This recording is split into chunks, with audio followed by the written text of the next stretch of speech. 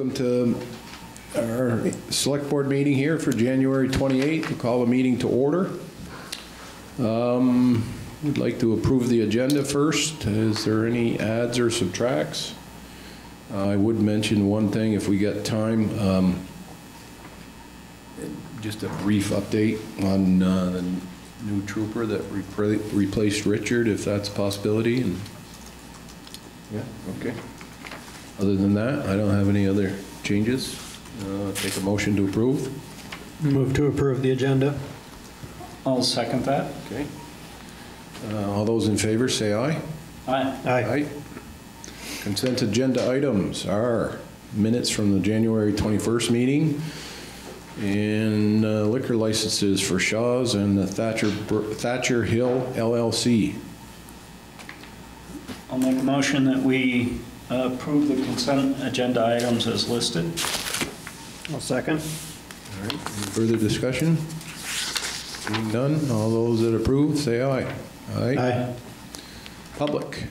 Anybody here from the public that wishes to speak? I would like to. Okay, Uh, It's to do with the budget, but uh, I'm not sure if I'm going to stay for the full meeting. Uh, why don't you come right up here, Everett? How things go.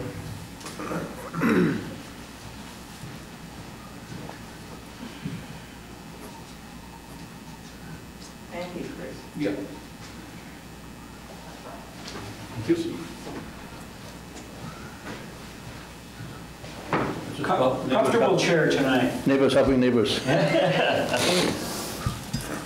Can you hear me all right? Sure. My name is Everett Coffey. I've lived in Waterbury since 1962, and uh, I've served in a public capacity as a trustee, village president, raised a great family with my wife, four adult kids, all married, and grandkids and great-grandkids. But why I'm here tonight is because, a couple of reasons, and I don't want to take that much time, but uh, I'm very doubtful that the figures that was in the Waterbury record last week, no fault of theirs, they were presented by Mr. DeSanto on the number of people that are using this library. Doing some calculation, there would be a requirement to reach that many people, and maybe there's a counter somewhere that counts two for every one, I don't know that. But a person, one person, uh, one minute, let's try that again. Every hour, 19 people would have to come through the library doors to get the numbers that are in the paper. And I didn't believe it last year, and I don't believe it this year. And I, it just uh, troubles me when what appears to me to be uh, false figures, and in my opinion, that is only to get uh, additional funds or whatever. Uh, I don't use the library much, I'm not opposed to it. However, I don't think we need to add another librarian for 20 hours a week, and some of you may disagree with me, and that's okay. Um, The other thing that concerns me is how little or how much effect does the Economic Development Director have on the future of Waterbury with new businesses and so on?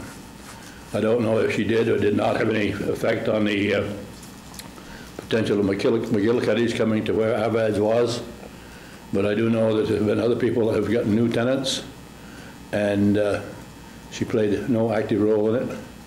She's really under the control of revitalizing Waterbury, and I think there's some conflict of interest there sometimes.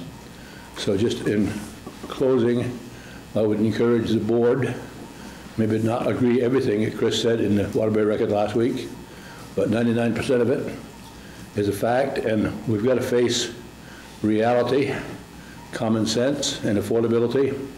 We've got a lot of young couples in town every night. The Pig, the Reservoir, Bluestone, et cetera, et cetera, are busy. A lot of people are out of town, skiers and so forth. But that is not enough, in my opinion.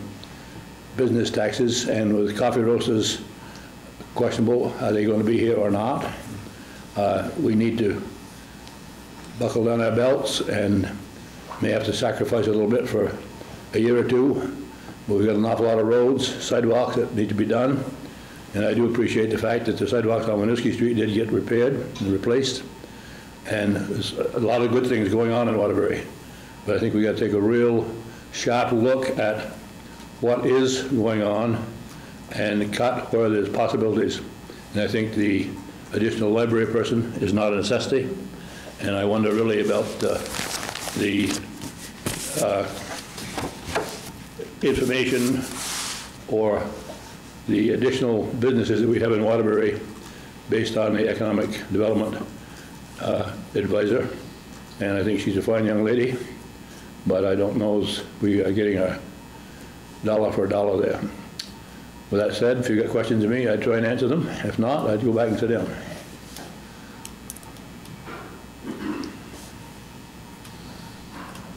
Can't think of anything right now, Everett. Okay, well, I'll be here for a little while at least. Okay, appreciate your comments. Bill? Just, just two comments, uh, not questions. Um, And thank you for coming, Everett. I appreciate your concerns. Um, There is a, there is a uh, counter in the library that counts people that go in and out. And uh, I know that, I mean, I haven't looked at the computer, but there is a counter. They know that they've got to, you know, divide by two because people come in and go out and select a guy and it clicks you both going in and out, so they understand that. So I did want you to know there is a counter in the library. Um, And uh, I don't know what it reads, but it's there. Um, With regard to the Economic Development Director, again, all good points. Um, I would just remind the board that um, the money that we're paying for the Economic Development Director's position is municipal money, but the Economic Development Director is scheduled along with others at Revitalizing Waterbury and municipal staff to be spending a lot of time on trying to help the public and businesses through the Main Street Reconstruction Project. Uh, We'll be getting reimbursed on the order of probably over $100,000 from the state for, for those efforts. So um, we're not getting reimbursed for the $52,000 or whatever it is that we pay RW for the Economic Development Director, but if they don't have that position, it's one less person to do what we've been asking them to do, so. And, excuse me, but one, one last point, I'll just run away with Mike. Uh, I didn't say it, but uh, the figures and the number of people are based on the hours that the library is actually open. And that's why I would uh, strongly question those figures, because that would be, as I said before, 19 people per hour going in and 19 going back out, which would be about 38, I believe. Thank you. Yeah, in reference to the Economic Development Director, we've had this conversation many years back, including when, you know, Karen Miller was on the board. She was always bringing that subject up, and it's, you know, it's, it's back here on my radar right now. Um, Well, it's- I it's- understand the circumstance in which Yeah. probably necessary at this time. Uh, There I may, we all know there may come a time when, when Well, I think that, and, and I'm not May change. suggesting, I'm not suggesting that we've, uh, you know, uh, written in stone that this position is here forever. Um, It is, like many things, it's, it's difficult to measure. Um, You know, you can read her reports, she, she produces monthly reports, she talks about what she's done with, with businesses, and, you know, have things happen because of her or that position? I don't know. Have other things not happened? In other words, did she prevent something from happening that is to our benefit? If, you know, if something, uh, somebody's thinking about leaving and they don't, you know, that's, that's as good as getting somebody to stay. So it, it is difficult to, um, to measure that. I think it's reasonable to have conversations about it. I think for the next couple of years, while we've got Main Street in our radar, and pretty soon, you know, dealing with it day in and day out, I think we, we're going to need that assistance. Is there a percentage of her work then that would be allocated to the uh, Main Street reconstruction? There is, So, I mean, why wouldn't it be directly reimbursable if she's actually working on, um, working with businesses on, on trying to continue better the communication and all kinds of other things that would be going on? I'm just asking the question. excuse me. Um, It's a reasonable question, Jane. Um, The, the work that RW is doing, uh, they, they send us a bill for that, and then we get reimbursed from the, the state. So my understanding is if we're paying her this money and then she's doing work for, um, that would be attributable to Main Street, we could get reimbursed for that share. Okay, so if she, if she tracks her time. Yeah, they all do. Those are the. Okay, I think, uh, I, I had another question. okay, um, that was related to what was presented last week.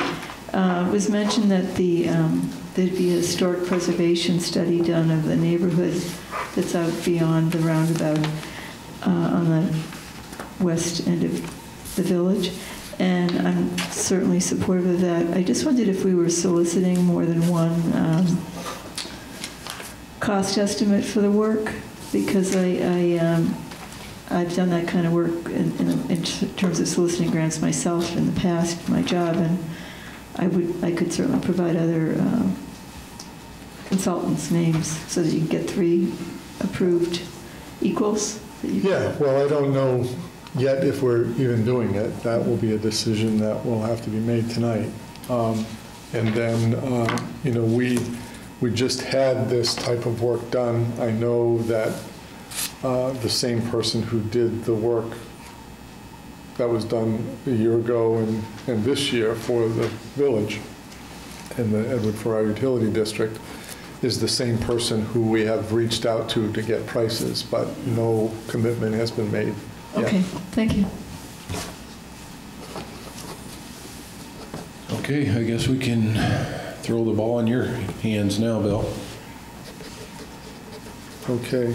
um, So the first item is to authorize the submittal of the Greeter grant application. Um, Steve Lotspeich talked about this when the planning budget was presented a week or so ago. I can't remember, it was last week or the week before. Um, And the Friends of the Waterbury Re- Reservoir have kind of gotten their act together, and they've decided that they want to uh, sponsor the Greeter program again. Uh, This is a a pass-through grant. Uh, The state can't give a grant directly to an organization like the Friends of the Waterbury Reservoir. Um, The recommendation is to apply for the grant. Um, The grant, if awarded, I think, um, I think the Friends of the Waterbury Reservoir are asking for slightly more time for the greeter than they had last year, so I think they're asking for about 2,800. The budget right now includes a $2,500 uh, amount for that.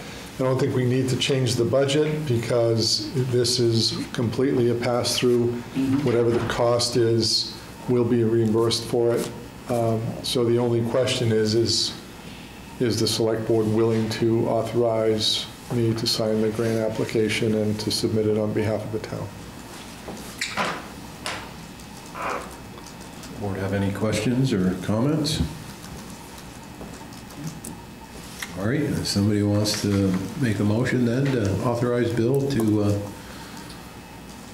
sign the greeter grant application to the state of Vermont and the Friends of the Waterbury Reservoir. I'll make a motion. Is there a second? I'll second that. Uh, No further discussion. All those that approve, say aye. Aye. Aye. Thank you. Uh, The next item is an amendment to the Janitech uh, janitorial contract. Um, Janitech is the company that we have contracted with to do the um, cleaning and housekeeping here at this building.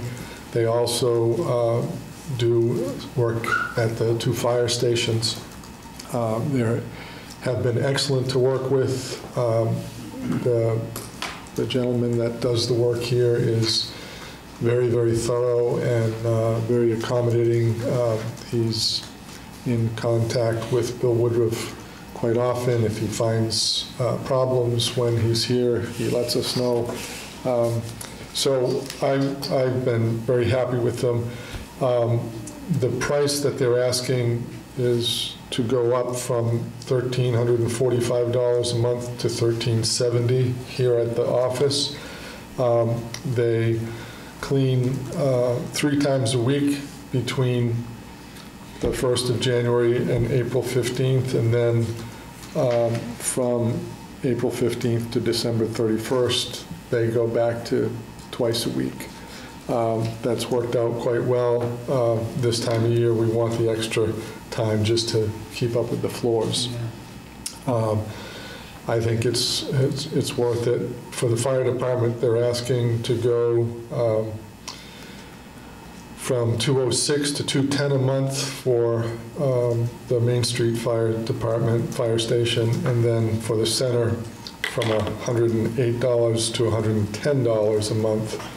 Um, The fire station down here gets once every other week, and the same up there, so twice a month, basically. So I would recommend that you authorize me to approve this contract. These are the prices that I've carried through in the budgets already, so uh, the board, however, needs to authorize it. What's the contract year on that, Bill? Is it calendar year? Yeah, January 1st to December 31st. Actually, it was, uh, it's effective January 1st, but uh, we signed the original contract on January 22nd, 2016, so we're just a little bit behind on this. She was on vacation and didn't get it to me until Tuesday last week, so.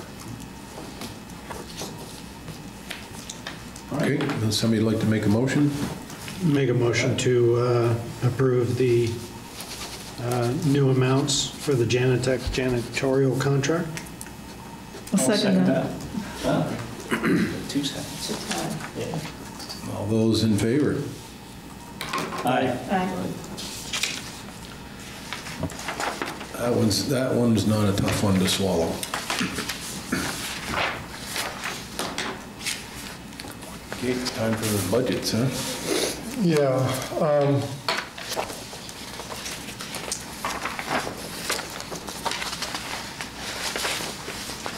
it doesn't matter which one we do first. It's probably because I told Carla to put the capital budgets on first.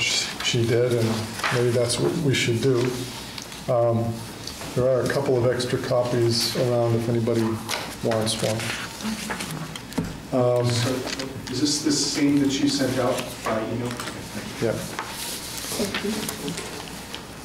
So I sent an email uh, late yesterday afternoon uh, for the capital budget, and then I sent an email on Saturday, late in the day Saturday, for the uh, operating budget. So let's look at the capital budgets first.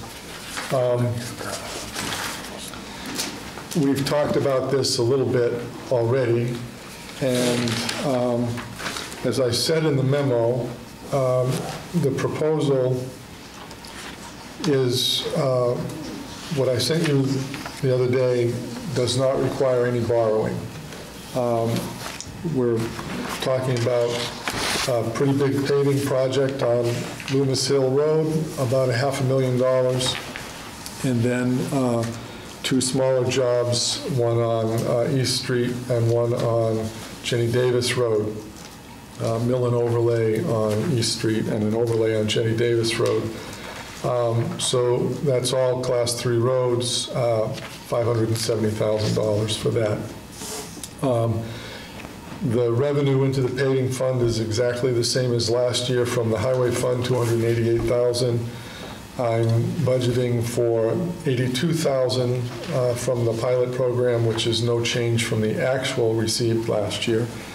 Um, And uh, we have uh, $5,800, I mean, five, yeah, $58,000 of debt service to pay, and that's on the, uh, the loan that we took, the bond, 10-year bond for Perry Hill. Um, Moving down to the infrastructure fund, again, um, I'm showing a state grant of 76.5 there. Uh, 24,000 of that grant would be for armoring the riverbank on Little River. Um, We had hoped to do that project last year and didn't, but the grant is still in force.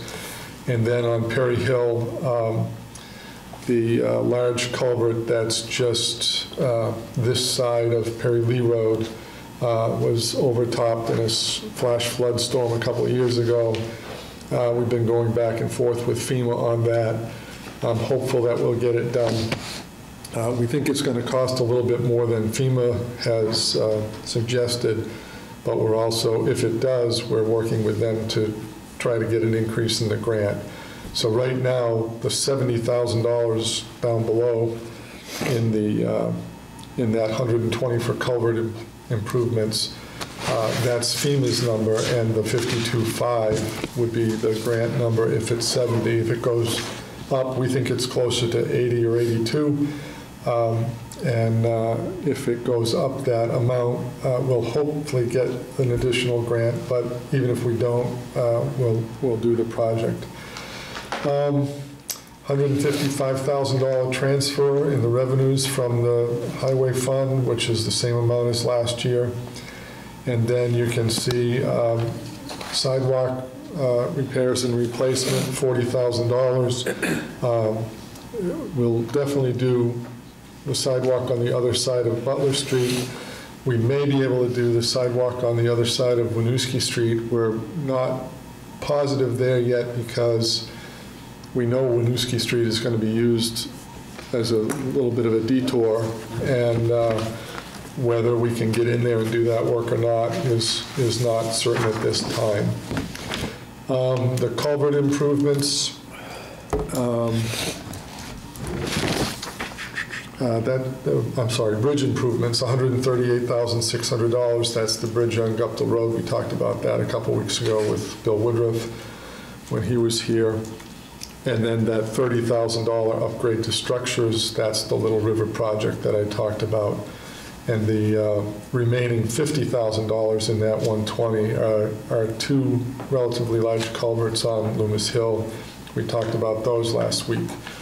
Um, Both of those budgets, if they were standalone budgets, um, the paving would end the year, if this happens exactly as is on this page, almost $300,000 in the hole. The uh, Fund 71 would be about $187,000 in the hole. But if we move down into the uh, highway vehicle um, uh, CIP, Again, the same transfer, and if you read my memo, I, I had hoped to increase the transfers from the operating fund into the CIPs in every instance, but I didn't. The only one that I put any additional money in was the uh, fire vehicle CIP. So all the highway CIPs have the same transfer as last year. Um, We took the uh, took ownership of the dump truck today, that $119,000. Uh, We typically don't buy things in advance, but that truck was ordered last year, and uh, uh, they weren't able to make it in time, and it didn't get delivered until today. And as I said, the fact that that truck didn't get uh, built in 2018 helped a little bit because we had the unanticipated expenditure of $152,000 for that sidewalk plow. Um, There's a pickup truck and then a a tractor that we use in the rec and cemetery departments that comes out of the CIP as well. If all of that happens according to uh, this uh, spreadsheet, that fund will end with $25,678 as a balance. And then the fire vehicle CIP at the bottom of that page, uh, the transfer in is up 3% from last year, 166,690 as opposed to 161,635 uh, budgeted. And uh, And right now, in this CIP, there's, there's nothing uh, being purchased in the fire department. We'll come back to that in a, in a minute. And then on the last page, uh, Fund 74 and 75, Fund 74 is the fire station CIP. There's no balance in that fund right now, and there's no expenses. I, we pay the debt on the fire department, on the fire station bond directly out of the fire budget, rather than do a- another bookkeeping transfer and a transfer. When I set this up, my hope was that we would transfer into this Fund 74 the amount of money that we need to pay the debt, plus a little bit more so that 10, 20 years down the road, when we need to replace the roof or replace windows or fix doors or whatever, that we would have some money. Um, Right now, the last couple of years, we haven't been putting anything into this fund. And I feel disappointed about that, but we have a pretty big uh, tax increase to face right now as it is, so I haven't moved anything in here. I think the, the fund will stay there, and whether we can put some aside in there, you know, even if we put in $5,000, you know, it would be, it would be something that we could uh, have down the road, but right now, there's nothing going in here. And then in Fund 75, I'm sorry, go ahead, No, Chris. I- I'll just, uh, before you were moved on to something else, I was just gonna, but go ahead and finish up. Okay. Uh, So Fund 75, the recreation CIP, the, there's two columns in here. uh, uh, The, the budget 2019 column, and then to the right of that, uh, it says without the grant. So on the revenue side, the first line item that shows up is that $50,000 VOREC grant that uh, you authorized being uh, applied for a couple of meetings ago. So that has been submitted. I'm not sure when we'll find out about that grant, but if we receive that grant and we put in $30,000 from the rec department in a transfer, um, we'll end up with revenues of a little more than $80,000. And then on the spending side, um, the $27,000 in the recreation building would include uh, $15,000 worth of renovations in the bathhouse, uh, uh, new uh, unisex bathrooms, family bathrooms. Um, And then uh, the building really should be re-roofed for $10,000, and then there was uh, one other $2,000. I can't remember what that was. Um, Recreation, oh, and then a, a sun shelter for the, for the pool. And then the field improvements, $35,000 would um, put new lights in at the uh, softball field and at the tennis court, improved signage, and then some uh, parking lot improvements here at Dac Rowe Field. Um, And then um, $3,500 for a, uh, lift, handicap lift for the pool, and then um, some money for the, uh, the land out behind the armory to, to do some tree thinning in there and then cut some trails so we can use that, uh, that uh, facility that, that we have, and then the thousand dollars a year for the community gardens.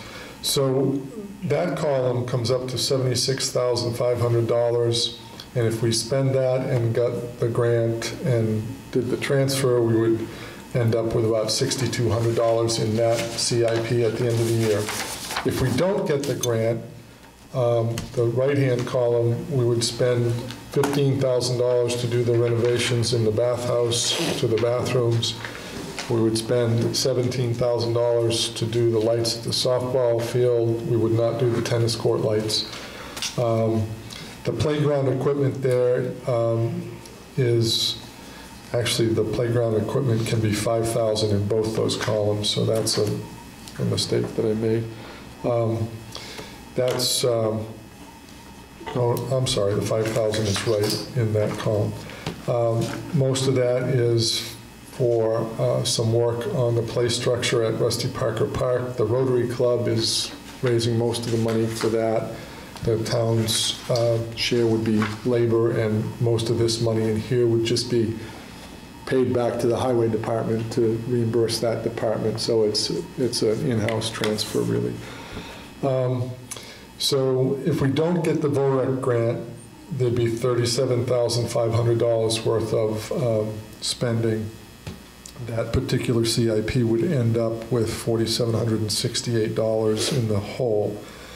Now, if you just come back to the, to the second column from the right, at the very bottom of the page, uh, this totals up all the revenue that are going into these funds, uh, into these CIP funds. So grant money transfers from uh, operating budgets and uh, the pilot money, that adds up to $941,690. All the expenditures in all of the funds add up to uh, 14, 1.425 million. Um, That's $484,000 uh, less revenue than expenditure, but coming into the year, we have $514,000 in all of these CIP funds. So we could do everything that I just described, and if it all worked out just as I described it, as it's described here on paper, these six CIP funds would end the year with $30,536. So we can do everything that I just talked about without borrowing if we wanted to. Now, I have another, um, I did not email this, but I'm going to hand out another spreadsheet here. Um, Actually, I'm going to hand out two more.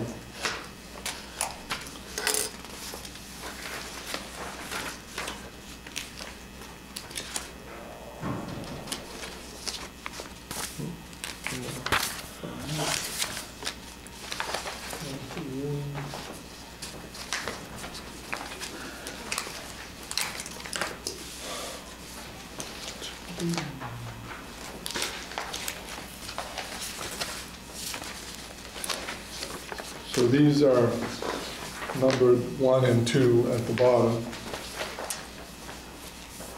There's a couple here if anybody wants them. So, as we discussed um, last time with Gary Dillon, the fire chief, um, we're to the point that uh, this year or next, and potentially the year after. So sometime between 2019 and 2021, there's two pump trucks that should be replaced according to the schedule. They're both 20 years old uh, next year, I think. So there was some talk about, uh, should we buy one this year? Should we buy two this year? Should we buy none this year and buy two next year, or one this year and one next? So if you look at the one that's um, that shows as number one at the bottom of the page. Uh, What I've done here is um, recommend, not recommended, but the option is borrow $500,000 this year. And if we borrowed $500,000 this year, I would put $300,000 of the loan proceeds into Fund 70. That's at the top of page one. And then we'd do the paving that I described, and instead of having a, um, a deficit of $300,000 at the end of the year, we'd have $345 in that paving CIP. I'd put the other $200,000 in the, in the Fund 71, which is the infrastructure CIP, and that would end with a positive balance of $12,914 as opposed to um, the negative 187,086 that it had. And then in the fire CIP, Fund 73, none of the loan proceeds would go into the fire budget, but we would buy one pumper for $475,000 and would end the year with 10,368 in that CIP, because the fire department CIP already will have enough money in it to buy the pumper after the transfer is made this year. Um, It'll you know, if we didn't, if we did what I described first it- and didn't buy anything in the fire department, it would end the year with $485,000. So we could spend $475,000 for the pumper, and that's an estimated net cost, about uh, $490,000 uh, minus the, the trade-in of one of the existing vehicles. And um, the trade, Gary said 15 to 20,000, this assumes 15,000. So that scenario would be if we, if we were to buy one fire truck this year, uh, we wouldn't have to borrow to buy the fire truck, but if we didn't borrow at all, then our, um, the first scenario that I talked about, $30,536 being in the bank, you know, for all six of those funds, uh, would be almost $500,000 in the hole. So with this um, scenario, if we borrowed $500,000, we would end with about um, $55,000 altogether in the, in the six CIPs. So we could borrow $445,000 if you wanted to and have about $500 in it, but um, I, I think if we were going to borrow, it wouldn't be sad to have $55,000 as seed money going forward because we'll certainly need it. Um, Number two, the the spreadsheet that has number two handwritten in at the bottom, instead of borrowing um, $500,000, this one contemplates borrowing $890,000. And this would be what would be necessary if you wanted to buy two fire trucks in, in one year. Um, We'd put the same $300,000 into the paving CIP, and that would end with the $345. This is all on the first page. We'd put $190,000 into the uh, uh, infrastructure CIP, and that would end with $2,900 in it. Um, Fund 72 doesn't get touched, just like it did in the last example. And then we would put $400,000 in the fire CIP, and then we would spend uh, 458,775 twice, whatever that adds up to. I didn't add it together. Um, And then we would pay the debt uh, on the uh, tower truck and the rescue truck, and the fire CIP would end, it would be about $32,000 in the hole, but they don't have another truck to buy for a couple of years, and with transfers that we make on an annual basis of about 165,000, you know, after one year more, it would be back in the, in the black. But if we did that, we would end, if everything worked out this way, on your last page, you'd see that would end with about a little less than $3,000 in the bank. Um, You know, this, the discount, the discount on buying two trucks is about two and a half percent. Um, And, uh, you know, it's, it's two and a half percent on almost five hundred thousand dollars is some money, but it's, it's a stretch. I mean, we'd have to, to, to borrow um, eight hundred and ninety thousand dollars, I think would be a little difficult. And while you're mulling this over, I'm gonna pass out one more thing to you, and then we can, let me get through this, and then we can talk about it all together. Bill, can you remind us on those pump trucks? One is definitely in need of replacement. The second one, were they both basically at the same age? They were, they were both bought at the same time. Um, When we bought them, when we, when we bought them 20 years ago, there was a town fire department and a village fire department. So the town bought one, and the people who lived in the village bought their own and paid for part of the town one. So uh, now, after the two departments have merged, we have, we've got one less truck than we had when we were two departments, which is a good thing.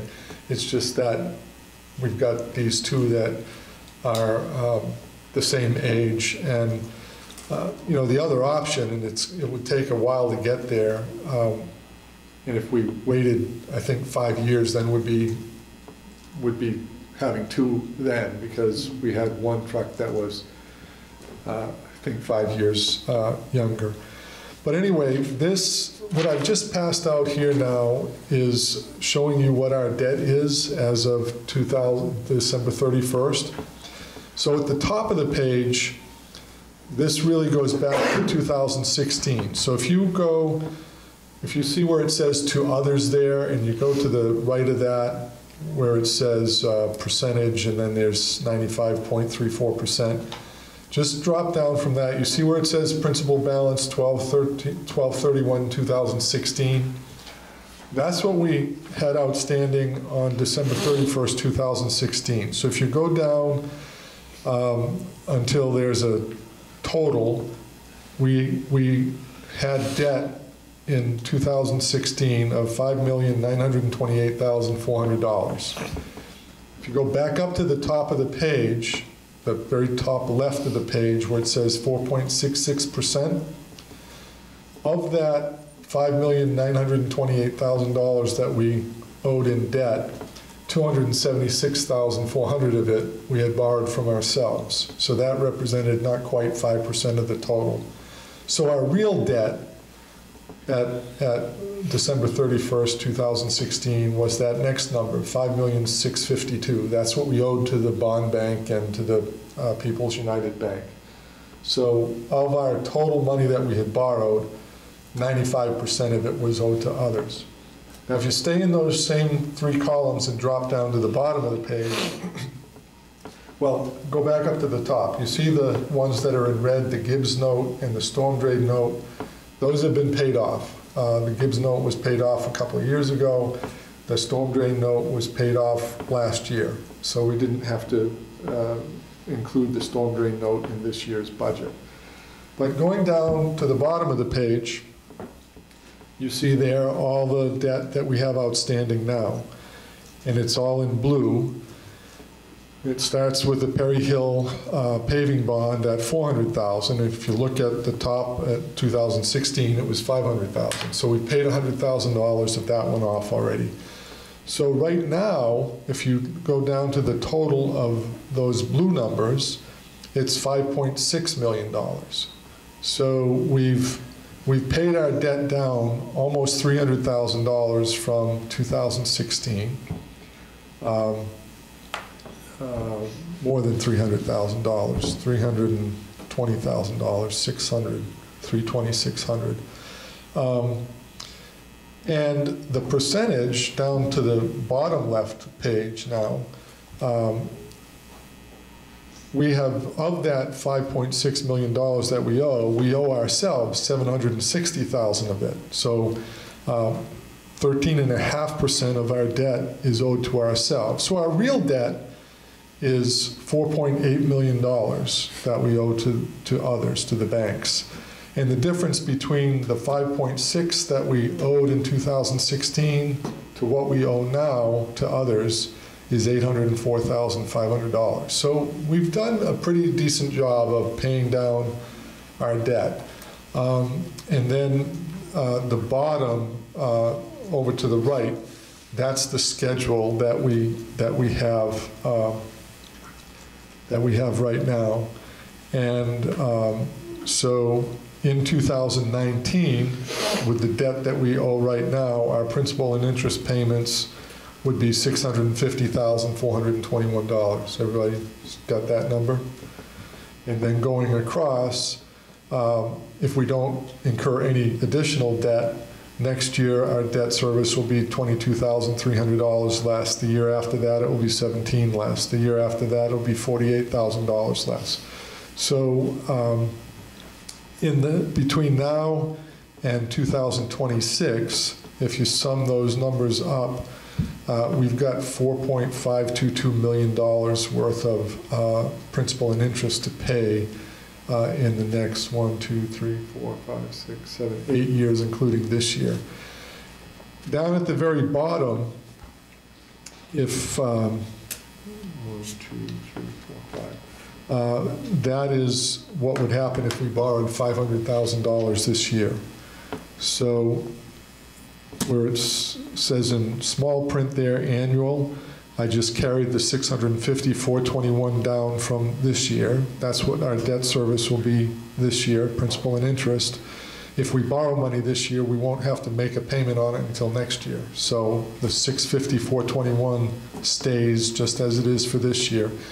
And then I just assumed um, a $500,000 note at 4% simple interest uh, paid off in five years. So in the first year, we'd have $120,000 of new debt service. So it would be 748,095 next year as opposed to the 628,095 uh, in bold up above, a few lines above. And our change would, from this year to next, would increase our debt service uh, 97,624 because we've added 120 of new debt service, but we're losing $22,000 of old debt service, so it nets out to 97,674. And then going forward, we would have lower payments every year. So in that scenario, um, we would uh, have in the next, between 2019 and um, 2026, our debt service would be $5,082,000 or $560,000 more than it would be otherwise. So um, I think we have the capacity to borrow if we want to do that. Um, And uh, I'm not recommending that right now. I think, you know, we can probably make it to 2020 and 2021 to buy the fire trucks if, if we want. And if you want to have one more year of shedding some more debt and just understanding that if we do everything on that first CIP budget that I gave you, that we'll have basically used all of our CIP reserves. Uh, You know, we put in um, 288, 388, uh, 388, so that would be 430. um, 520, 620, 680. So we're, you know, we're putting in about $600,000 a year from the varying operating funds. So um, I'll stop talking because I'm sure somebody has a question.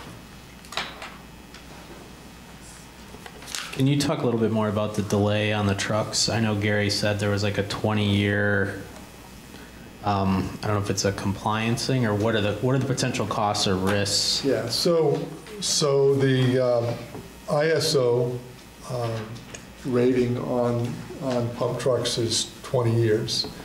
Um, The ISO does a rating and your homeowner's insurance and property owner's insurance is somewhat tied to that.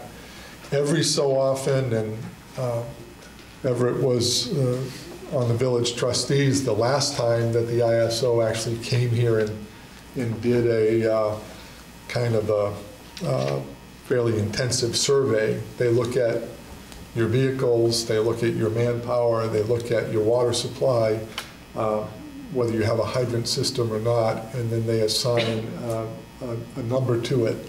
And I know in the village, uh, it's still the case, and I don't, I don't know the number. Uh, I think the rating system is something like one to nine. Uh, The village has the best rating that a volunteer fire department can get. Um, It has a good hydrant system. There's a hydrant just about every 500 feet in the village. Um, We have a good, uh, you know, over 50 uh, firefighters, and we have good, well-maintained equipment. Um, So the, the trucks will be 20 years old next year. So we're- still within bounds until we get to the following year. And, you know, I don't think it's going to make any difference in the ISO rating. They're probably not going to come around to, to check. And if they did, and we said, yeah, we've replaced one this year, we're going to replace one next year, I, I don't think it will be a killing matter. But, um, And again, I'm not recommending not buying a truck this year. I'm, I'm saying that if we do, we have to borrow if we're going to do it, uh, because we don't have enough money to do everything else that we've planned to do. If you want to cut the paving down and, you know, don't do as much paving and buy the fire truck, we wouldn't have to borrow. But if we want to do everything that is on these budget sheets and we want to buy a truck, I think we have to borrow.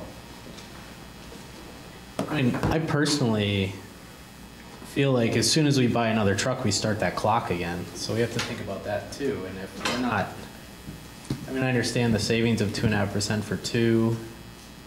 And of course, I don't want to put anyone at, if you, if, if I, if I heard you saying that it was a, a risk to the firefighters to not upgrade the truck, that would be another thing. But I think we really do have to consider that we're, we are restarting that clock as Right. soon as we buy one. And, and, you know, Gary was pretty clear to us last week, and, and when I talked to him about uh, not, n- no truck this year, he said, if, you know, that, that's fine. And, and I think the- the initial, um, the initial, um, I don't want to say offer, but suggestion by Gary was, you know, these are expensive things, maybe you want to do one this year and one next year. Um, you're right, the clock will start running when we, when we buy a new truck. Uh, If we're supposed to get 20 years out of it, next year will be 20 years. And I, I don't think it will be any um, issue if we bought one next year and one the year after. If we don't buy one this year, we still have the option to buy two next year if, you know, situations change. We can, we can look at that. You know, there is the only risk, and I think it's minor because um,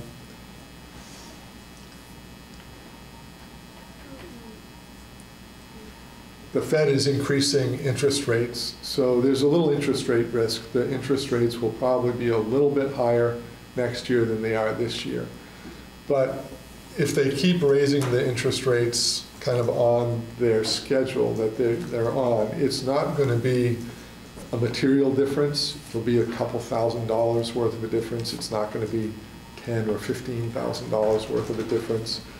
Um, You know, as little as four years ago, in 2015, when we borrowed $500,000 for Perry Hill, I felt that, you know, we should spread that cost out over, over 10 years. We borrowed it for one year, and then the next year, we refunded the note and turned it into a 10-year bond. So the Perry Hill project really is going to be paid off over 11 years. We did the work in 15, we paid interest in 16, and, and just rolled the note forward and turned it into a bond, and then we had a 10-year amortization starting in 16 through 26.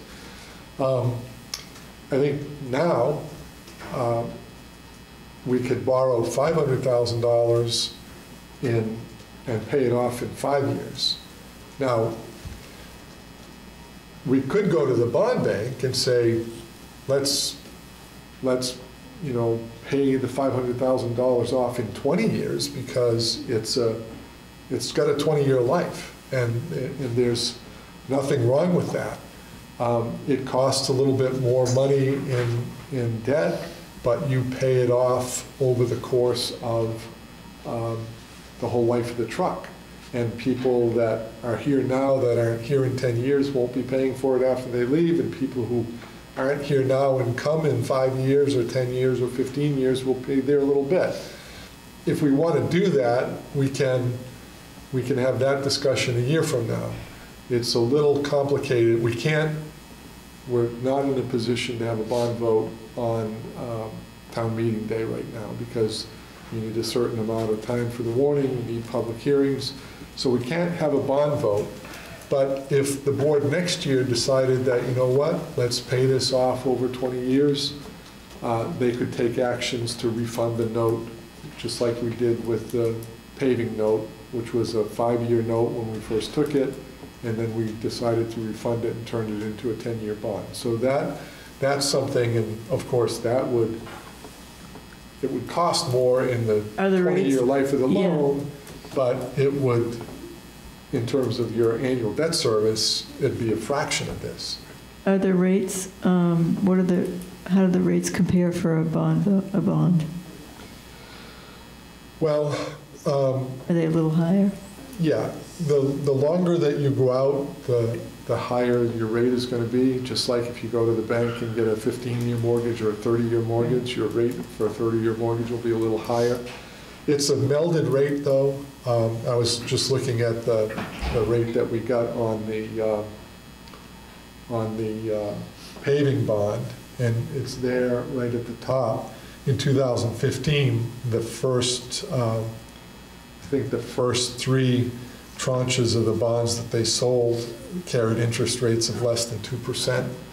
Um, By the end of, you know, so the, the, the first year was, I think, 1.1%, and the, the 10th year was about 2.6%, and it, you know, it averages about uh, 2.2% for the whole thing. Now, those rates are going to be higher. Um, We're probably talking about in the mid threes to low 4% rates now. One of the things that Gary had mentioned that I uh, stuck with me was trying to get some level of separation in the age of the equipment. Because right now, we're faced with two of them uh, reaching their end of use life at the same time, so it doubles our expense. If we were to look at doing one and then pushing the other one off either one or two years, um, and, and spread that out, is that, how does that play in with your, your calculations here? Yeah, um, well, certainly I think that there's, as I just explained to Mark, I don't think there's any danger of pushing the truck out. You know, if a year from now, he comes in and says, you know, the truck really is in bad shape and we're gonna have to pay thirty thousand dollars to keep it on the road, well, we'd probably make a decision to buy a new truck next year. Um, I didn't bring my box with me, Mark, my, uh, all my uh, CIP schedules in the other room. I can't remember if the third pumper is five years from now or if it's a full 10 years from now. I, I, I- I want to, I'm trying to remember, I think Gary mentioned. it might be 10, but, I mean, I can run down and look, but. No, no, I just, I was wondering, because my inclination is that if we were to invest in it, I would, I would lean toward trying to separate out that, that age aspect of it. I kind of agree, and I think that we all, um, we have prioritized, we should continue to get as much paving done as we can and other infrastructure improvements, so I don't think I agree with, I, I think I prefer not to buy two, two at once. Yeah, I, you know, it would be nice to get that two and a half percent savings, but at, it comes at other costs. And, Right. uh, That's kind of what I meant. I wanted to show you what it would look like if you wanted to do that, but I, I don't think that's, um, just causes too many other dominoes to fall. That's what I've been sitting here thinking, absorbing what everybody's been saying, and uh, I think our day of avoiding the unavoidables is about over. Because even if we kick the can on this fire truck for two years, five years, you know, I don't have the information in front of me, but just surmising what other um, possible paving projects that we're going to be faced with here in the next few years. If we either decide not to do anything after this year with paving, or we decide to uh, try to address the other you know, reasonably bad roads, uh, Maple Street, Barnes Hill, uh, Blush Hill. Those two, Maple Street and Barnes Hill are clearly on the And then Guptil Road's gonna be right behind that. So those are all big ticket items, and we don't have the, the ability to kick those, that's not including any bridges or sidewalks or anything else that we gotta deal with. So we don't have the ability at this point, way I see it, to kick those projects down the road another five, ten years. It's just, so, um, I knew this day was going to come. I figured, you know, at some point, we're going to have to buck up and deal with it. Um, You saw what Bill's proposing for a uh, tax increase. It, uh, I know he's done the best he can. Uh, uh, He's done the best he has, has been able to do with it. Um, I'd already speculated that we were going to see six to eight cents. Uh, He basically cut the uh, budget to the bone. I'm a little concerned about that. Um, He's cut, it- cut it to the bone to get it six cents.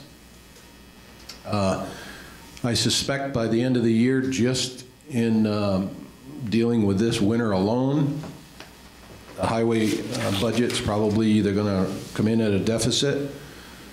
Uh, I know there's concern about running out of sand already. um, And the only option to where we can get our sand this winter, Bolton won't open up for us.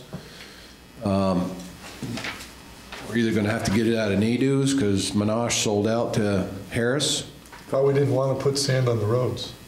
No, we don't. I'm happy with surviving, with, try to survive with what, I'm just saying, there's the I- poten- I know, I- potential I- there. And, and no Trust me. disrespect, no disrespect to any of the former highway foremen or the current one or the public works director, but if I could, uh, you know, if I had a dollar for every time that one of them told us that we were gonna run out of sand, you know, I'd be able to go out to dinner at Mark's Restaurant. Well, I drove by there the other day and I looked at the sand pile and it was probably the smallest it's been in some time and we're, we're still And- and I'm two, not two and a half we- months out. I'm not saying we want Right, and. I'm not saying either. But what I'm trying to get at is we can continue to try to avoid the obvious here and, and, uh, it's, we're not gonna get away from it, no matter how hard we try. It's just, it's all coming to a head. Uh, And it's not gonna be pretty.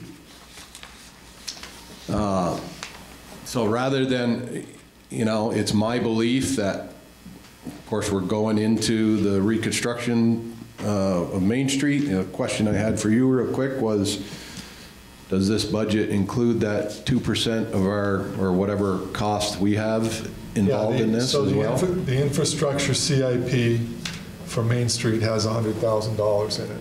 Okay. And, uh, you know, the Main Street project is uh, about 21 million, and 2% of that is a little over 400,000. It's a three-year project, and some of the costs are going to be borne by the E-Fund for water and sewer. So um, the 100,000 right now is my best estimate. Um, and I, I, I don't think it will be an issue. I don't think it's gonna end up being 200,000, so. And, you know, Chris, I, I agree with what you're saying. Um, I'm not quite in agreement that the issues that you're describing or the things that we have to do down the road are undoable. I think we have, uh, we have capacity. I think just this example that I've given you here right now, that we've, we basically have uh, $800,000 less in debt now than we had uh, three years ago is a huge thing. Uh, We've been borrowing, but we're borrowing from ourselves. We're paying ourselves back into the tax stabilization fund, and then we're using the increase in the tax stabilization fund to, to offset uh, taxes. So uh, all of the things that you're saying are true. They're down the road, they're coming, we've got to face them. Uh, I, but I think that, you know, that, that I've given an example here of $500,000 worth of bor- borrowing for the fire truck that we pay off in five years. And if we paid this off in 20 years, You know, it's, it's very, it, it's a very different metric. I can, I can, I can almost get on board with that simply because suggested life expectancy of these trucks are 20 years, so it's, Well, I'm not I, suggesting I, I, 20. right, I would almost be more inclined to go, go along with that as I, as I would be to mortgage out a, one of our sections of paved roads for 10, 15, 20 years. Um, The fact of the matter is, if we decide to try to keep some kind of a reasonable schedule with the paving projects, just the few that I suggested, uh, we can mortgage them out, but they're, they're gonna pile on top of each other, and that's gonna, you know, accumulate uh, a degree of, of tax increase. Um, You know, borrowing from ourselves is great. Uh, It's still borrowing. We still have, we still owe that money. Uh, We just don't owe it to others, you know, uh, outside of the Well, municipality. you don't really owe the money. If you, if you Well, felt that. Yeah, you could wipe the debt. you, well, yeah. and- could. And if you, if you felt that, boy, you know, we really need to pave, you know, we got a million dollars worth of paving and, you know, we just can't afford to do it, you could go to the voters and say, write that off.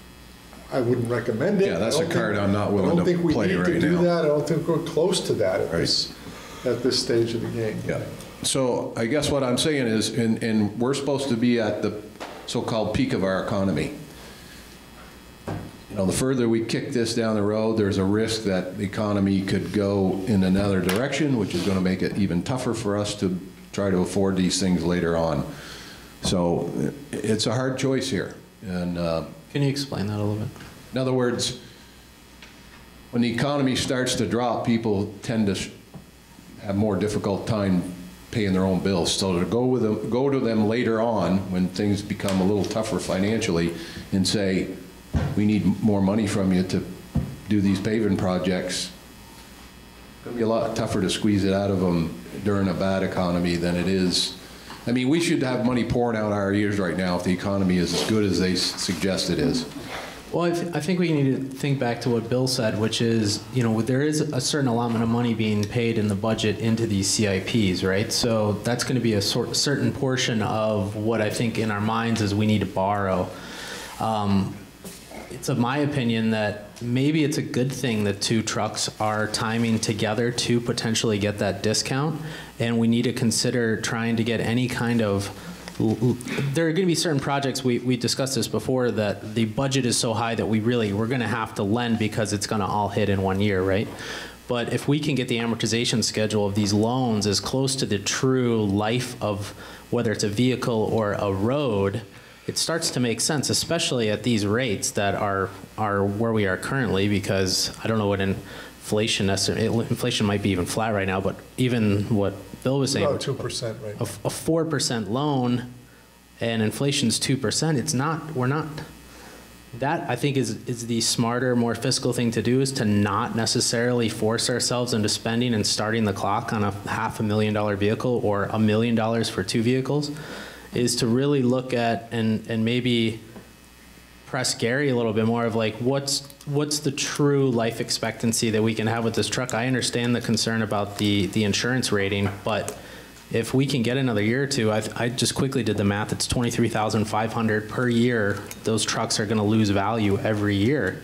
So I mean, that starts to add up really fast if we're gonna if we're gonna accelerate the purchase. But if we can push those out, I understand that potentially in one year we're gonna have to ask for multiple multiple loans or bonds to to accommodate these large purchases. But we also have loans coming off.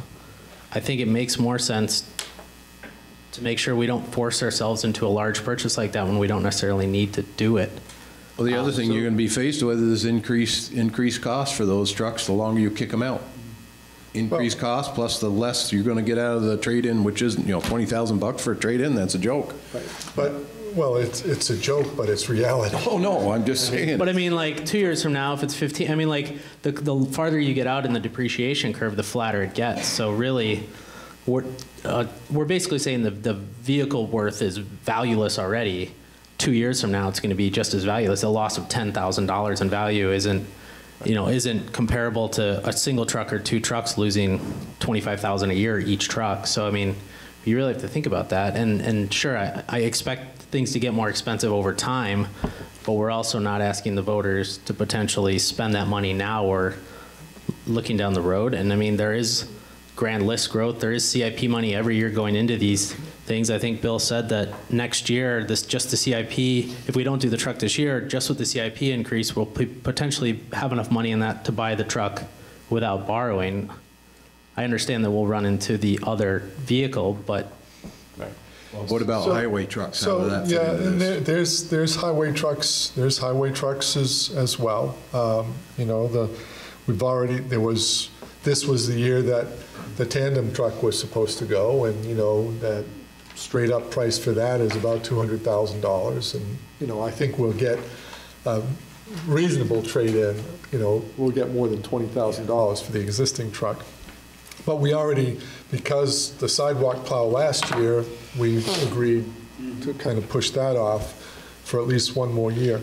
I mean, you know, I, I, I say this all the time, but I think that it's truer now than ever in that um, we can, we can take time this coming year to look at the CIPs in detail.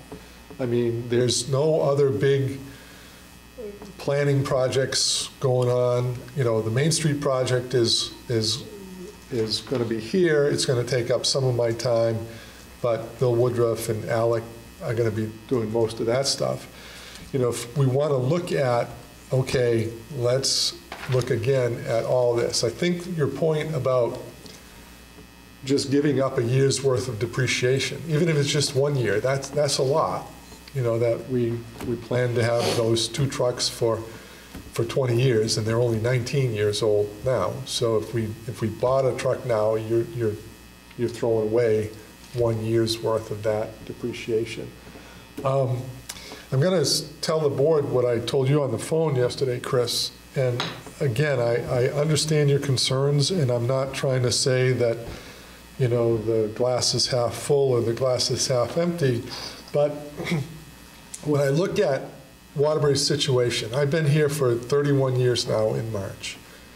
When I came here, the, the town and the village had fund balances that hovered between, you know, $25,000 deficit and $50,000 in the, in the positive. So we, we were pretty close to, to the zero fund balance mark.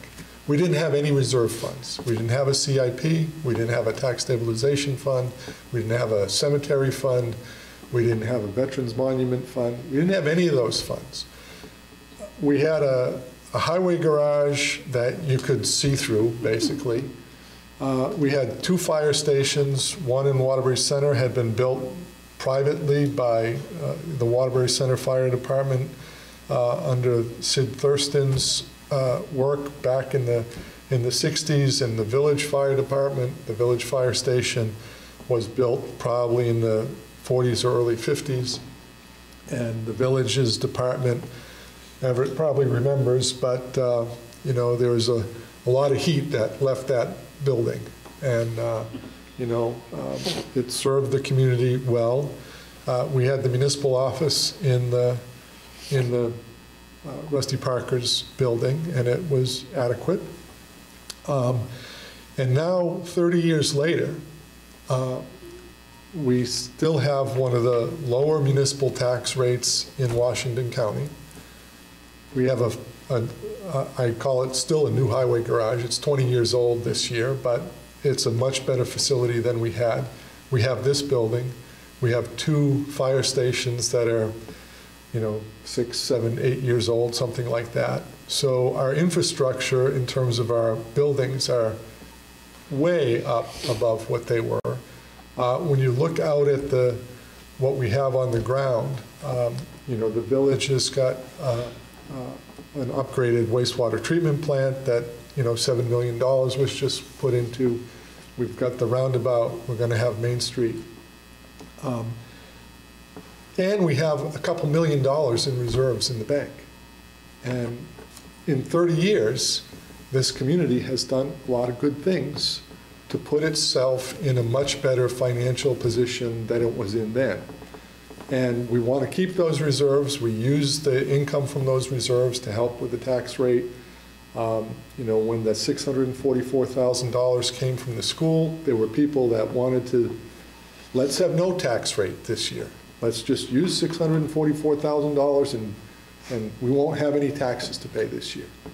And fortunately, you know, the select board said, no, that's not a very good idea. And we've, we've grown that fund to almost a million dollars now, and we've given the voters about $300,000 in, in returns on that. So I know we have a lot of challenges going forward, and I know we have highways and bridges. I don't think our highways and bridges are any worse than anybody else's out there. I think we're, we have average highway and bridge infrastructure.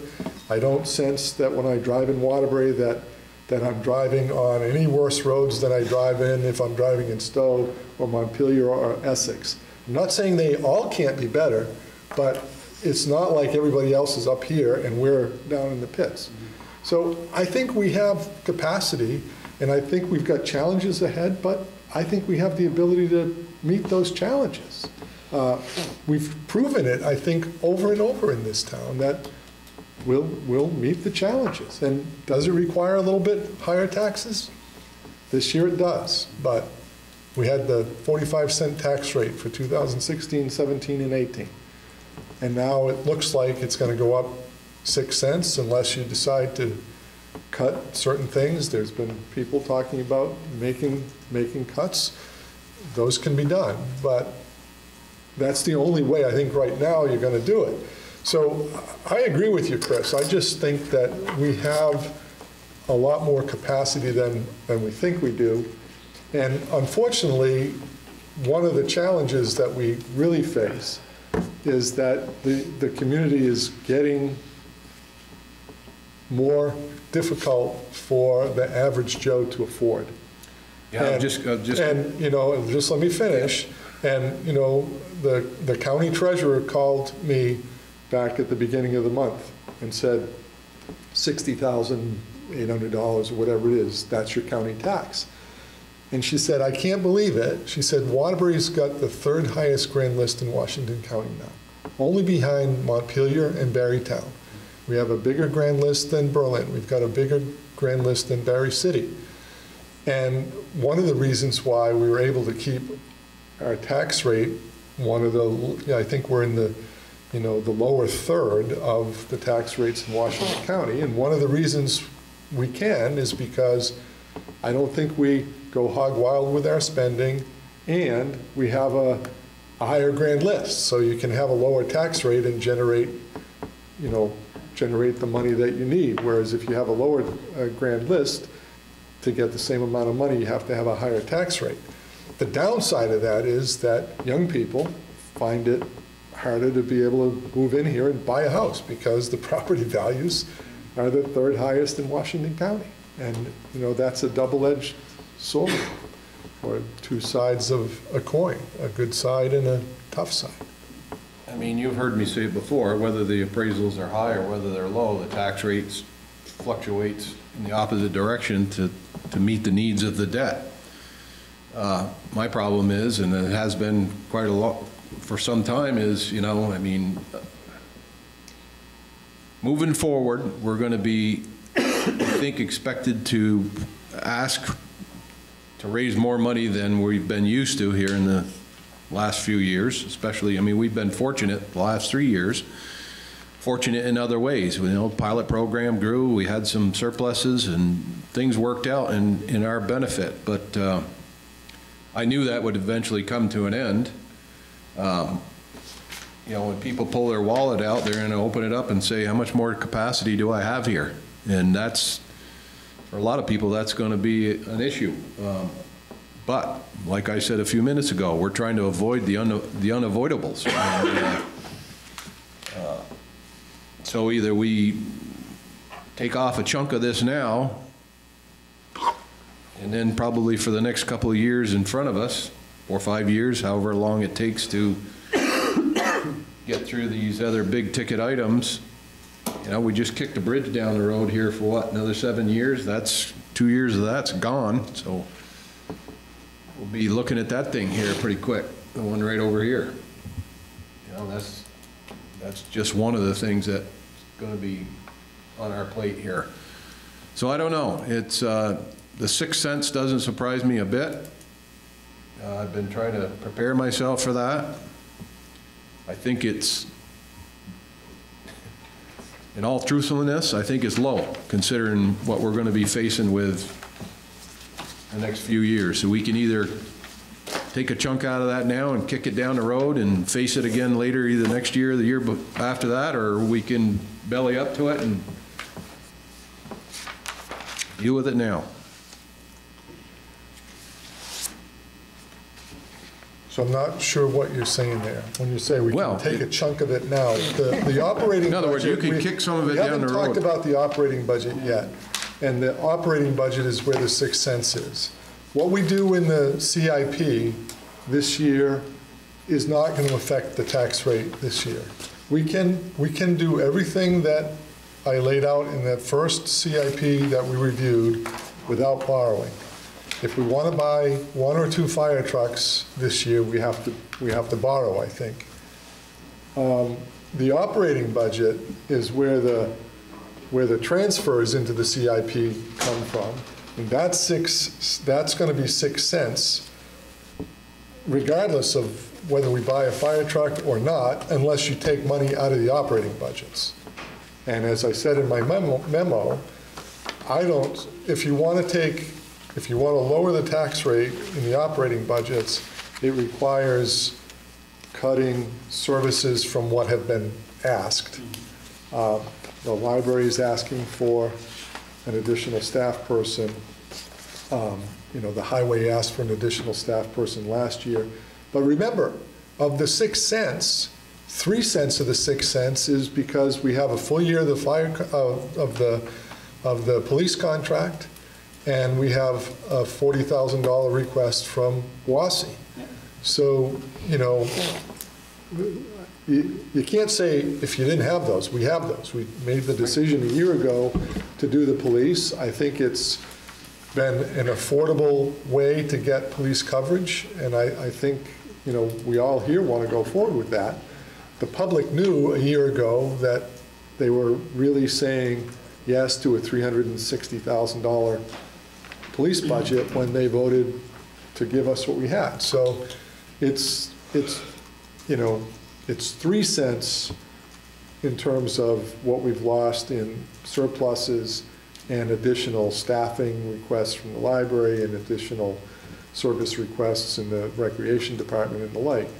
Uh, So just remember, there's that little delineation there. So if we kick one fire truck down the road, just for kicks and grins here, how does that impact our CIP as far as uh, truck replacements for the highway? I mean, are they gonna, is that gonna double up on us here when that, Well, so I I just- guess what I I'm saying is either we- two trucks now or two trucks. If we, if we bought one truck this year, if we decide to buy a fire truck this year, we're going to have to borrow uh, because we, we just, we need to borrow. We don't have enough money in the reserve funds to pay for everything that we're going to do. If we don't buy the truck this year, then next year, we'll put another $600,000 into the CIP. The CIP will, it's going to be about $30,000 at the end of this year, so it'll have $600,000 in it next year.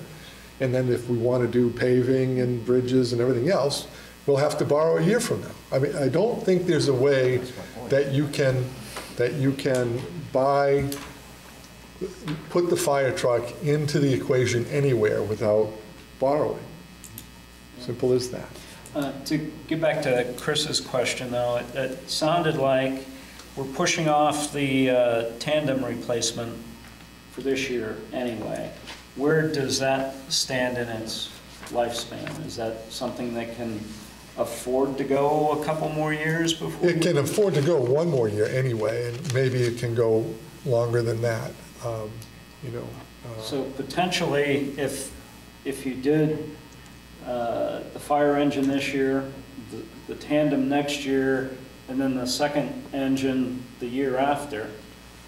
um, Just to get the separation. Well, it gets I that understand stagger that, in there yeah. and it, and it Right. keeps uh, both of those entities from Right. uh, having to really deal with some maintenance Yeah, and issues. it, it would be, it would be nice if I could sit here and, and have a spreadsheet with everything on it right now. Unfortunately, I, you know, I've- I've used up all the time that I had in the month just getting this stuff done. And I think, you know, I tried to say about 10 minutes ago that looking at the future CIP, I think we can do that in the, in the coming year. We'll get through town meeting and then, you know, we have a lot of time and we can run as many iterations as the board wants to see. Um, So I really, I think the decision for right now, for this year, is, are you going to buy a fire truck this year or not? That, that, I think, is the decision. I don't think we can afford to buy two this year, especially that both of them are a year earlier than their, their life expectancy. So I think buying two and having to borrow eight or nine hundred thousand dollars would be tough. Um, So it's either we live with the CIP budgets as we have, and we end the year with about 30 grand. Now, every year for the past three or four, we've never spent as much in the CIP as we budget for. Um, You know, certain things happen this year. Our paving projects cost us less than we budgeted because we thought we were going to have to do, you know, take out a lot of material on Whizzle Mountain. We get up there and it turned out to be in a whole lot better shape. And it was basically, we fixed the storm drains in the, in the sewer system and we overlaid it. So we saved a lot of money there. Um, Most of the projects are, are in here and they're kind of um, uh, estimated at their higher levels and we tend to spend less. So we can, the likelihood is that we can do all the projects that's on that first sheet that I showed you, I would say it's a better than a 50-50 chance that we would end up with more than $30,000 in all of the CIPs put together at the end of the year, because the projects probably won't cost quite as much as they show on paper. Mm-hmm. That's not a guarantee, but that's kind of what's happened over the course of time. I'll, I'll chime in again here on this. I think we also have to look at, Bill laid it out pretty clearly that our debt, our principal and interest payments are going down every year. So we also have to think about that as, say we didn't buy the truck this year, and if we, I, I don't think a one-year separation on these trucks is, is gonna put us in that much better of a position down the road. I, I think we have to seriously consider if we can potentially get ourselves in a position to bond that out, and we can do a 10-year bond, or what's the longest bond we could potentially? So we could go to a 20-year bond, which if we did that next year, when would that first payment be due? If we, if we voted a bond next year and, and um, bought the truck next year, received the proceeds of the bond next year, the first payment would be due interest in April of 2021 and principal and interest in November of 2021. And we're saying that it, you think that the rates on that would be around 4%? And so let's just say a million dollars over 20 years, what is that really quickly? 50,000 a year? $1,000 a year in Plus, principal and then And then principal and interest. interest, right? And so, for, would be another 40,000. So $90,000 in the first, in the first year. Yep. I just think that's a much more fiscally responsible decision to look at doing that, to make sure that we're in a position to try to get a loan that represents cl- as close to possible the lifespan of the vehicles. We always have the option of paying debt down faster. You don't. You don't. So bonds you If Take a can't. bond, you Okay. typically don't. But we have other debt that's not bonded, and we potentially would still have other debt that's not bonded. Um, I just think that, in my opinion, there's no reason to try to force ourselves into a half a million dollar spend on something that has life left to it. Um, we're being told that it has life left to it, and I think there are options to tackle the debts that are potentially in our future. And as is shown on this sheet, we're going to be able to afford more debt and keeping a flat debt cost, right? So in what 2019, to 2023, there's $50,000 right there of additional debt service that we can afford without changing anything on the budget necessarily. So I, I just really think it's, it doesn't necessarily behoove us to spend that money if we don't, if the vehicle doesn't need it and we can get another year or two out of these vehicles. Yeah, and we're, we're paying ourselves a higher interest rate than we could get at the bank right now. And we, we decided to do that a few years ago because, if you remember, you know, we, um, the, the fixed income markets back in the early 2010s were, were paltry in terms of a return that you could get. So whereas we used to buy uh, in our tax stabilization fund, we would buy, you know, 20-year Verizon bonds or 20-year at and t bonds or, you know, Mobil oil bonds, what have you. And we would earn, you know, anywhere between four and a half and, and seven and a half percent.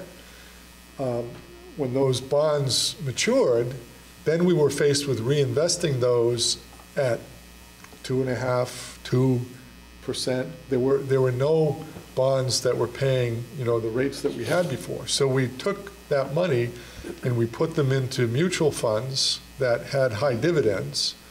There were, you know, um, uh, uh, income uh, mutual funds, income, growth and income mutual funds.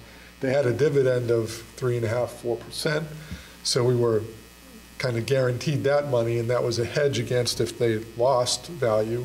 Uh, you had your interest and dividends that buoyed a little bit, and if they gained value, you know, you'd have a four percent dividend and a five percent gain in price.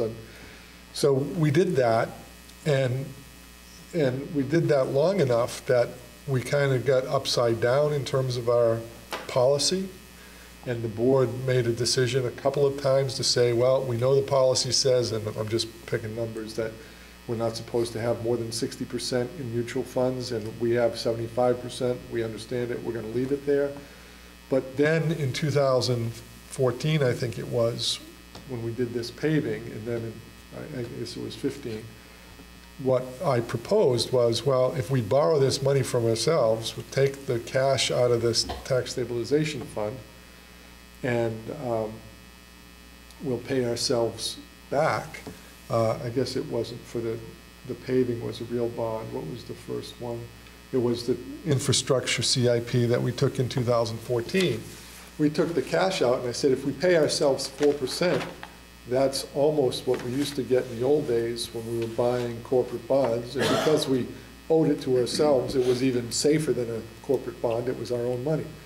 So, you know, if we wanted to, we could, I could look at what we're paying the People's United Bank, and we could pay ourselves back that same rate. We'd, we'd lose it on the other end because, you know, we wouldn't be getting as much in the tax stabilization fund, but anyway. Well, what I'm seeing here, and I'm coming from the perspective of having managed fleet and equipment uh, issues for a fairly good-sized operation, and, and there's always the issue when you get near the end of service life, you know, can you get another year out of it, or can you get another two years out of it? And invariably, something will bite you with that.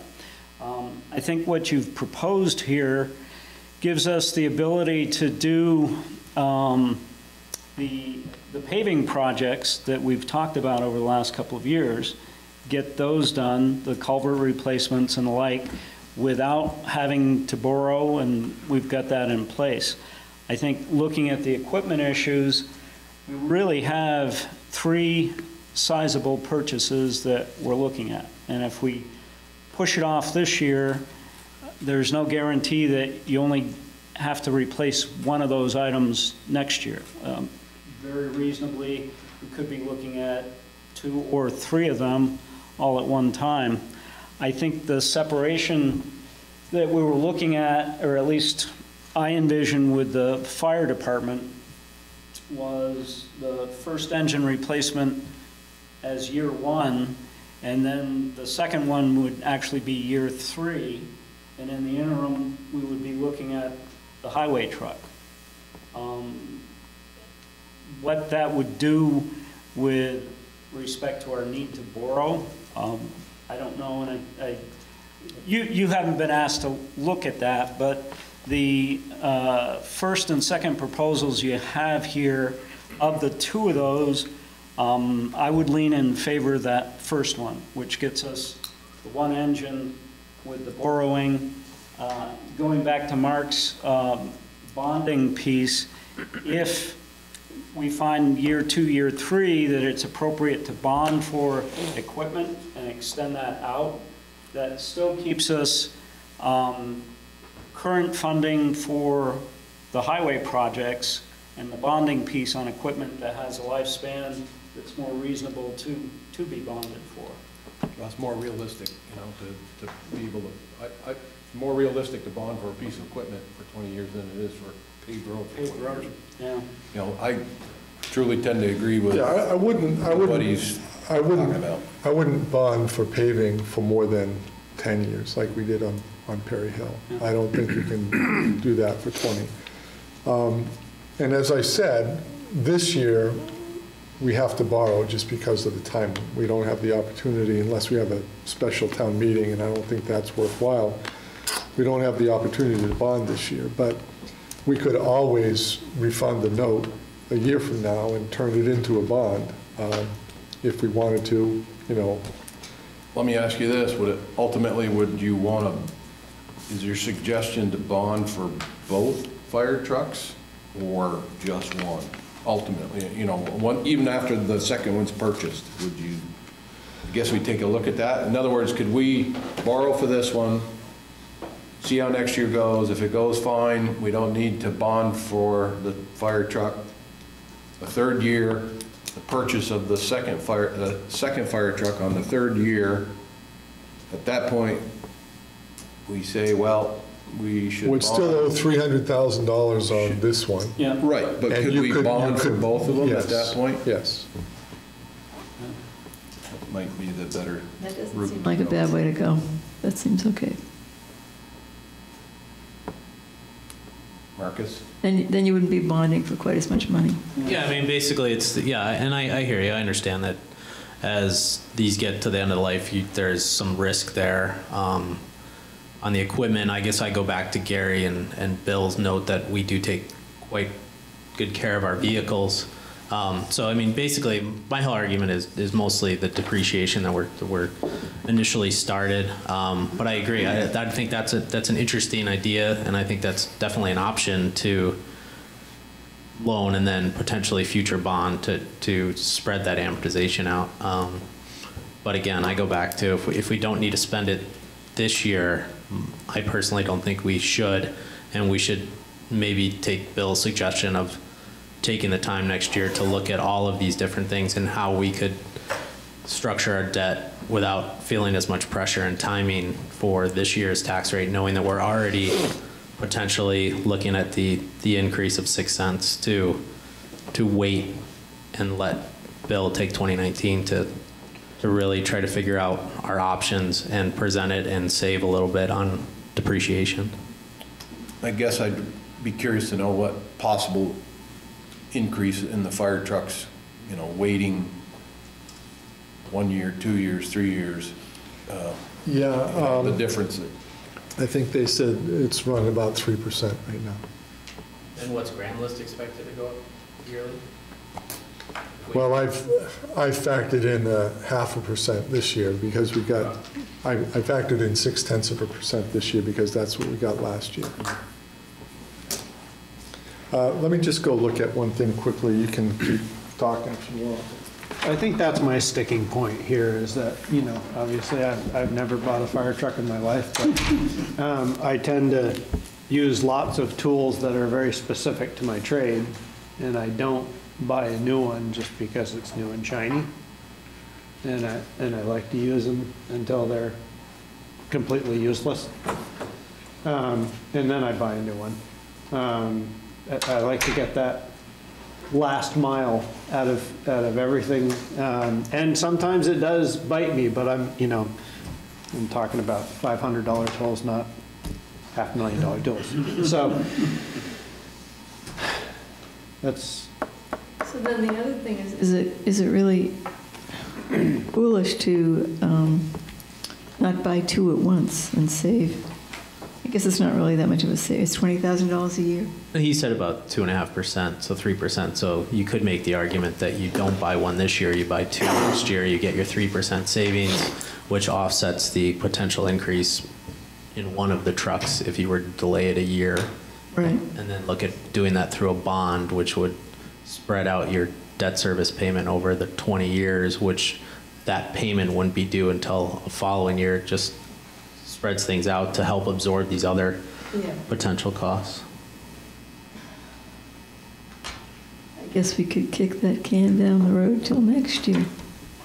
And as you said, which I think was a good point um, that Bill made, of have some time to prepare, looking at the CIP before uh, January or as January approaches.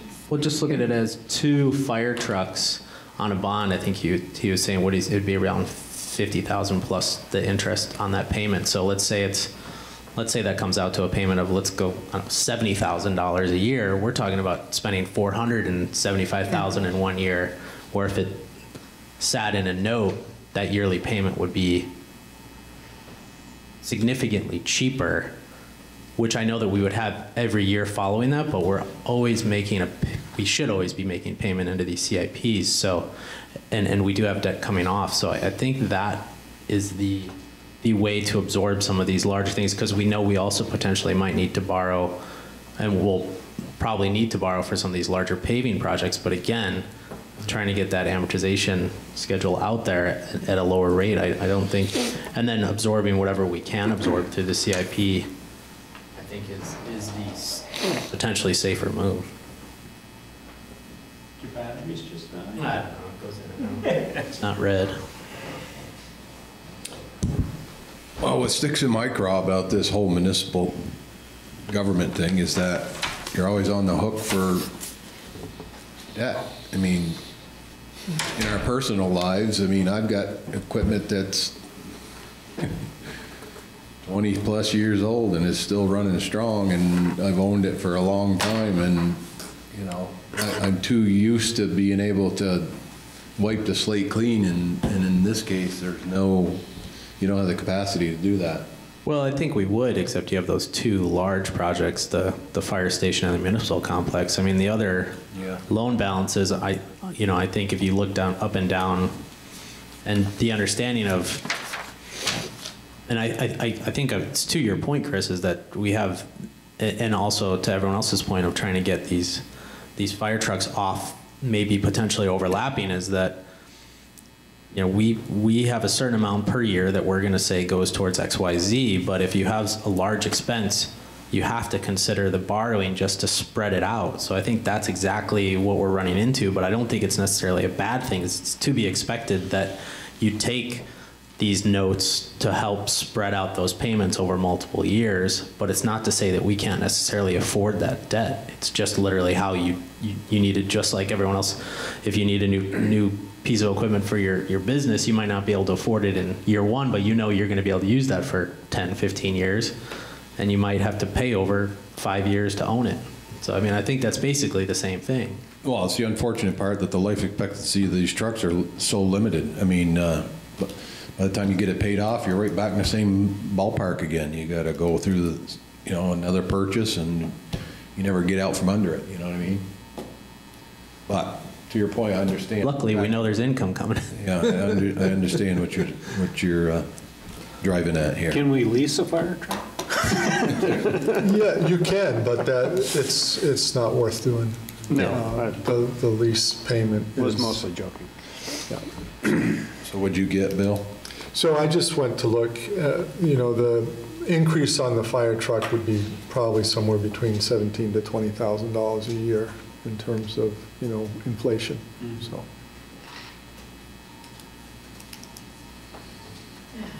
Well,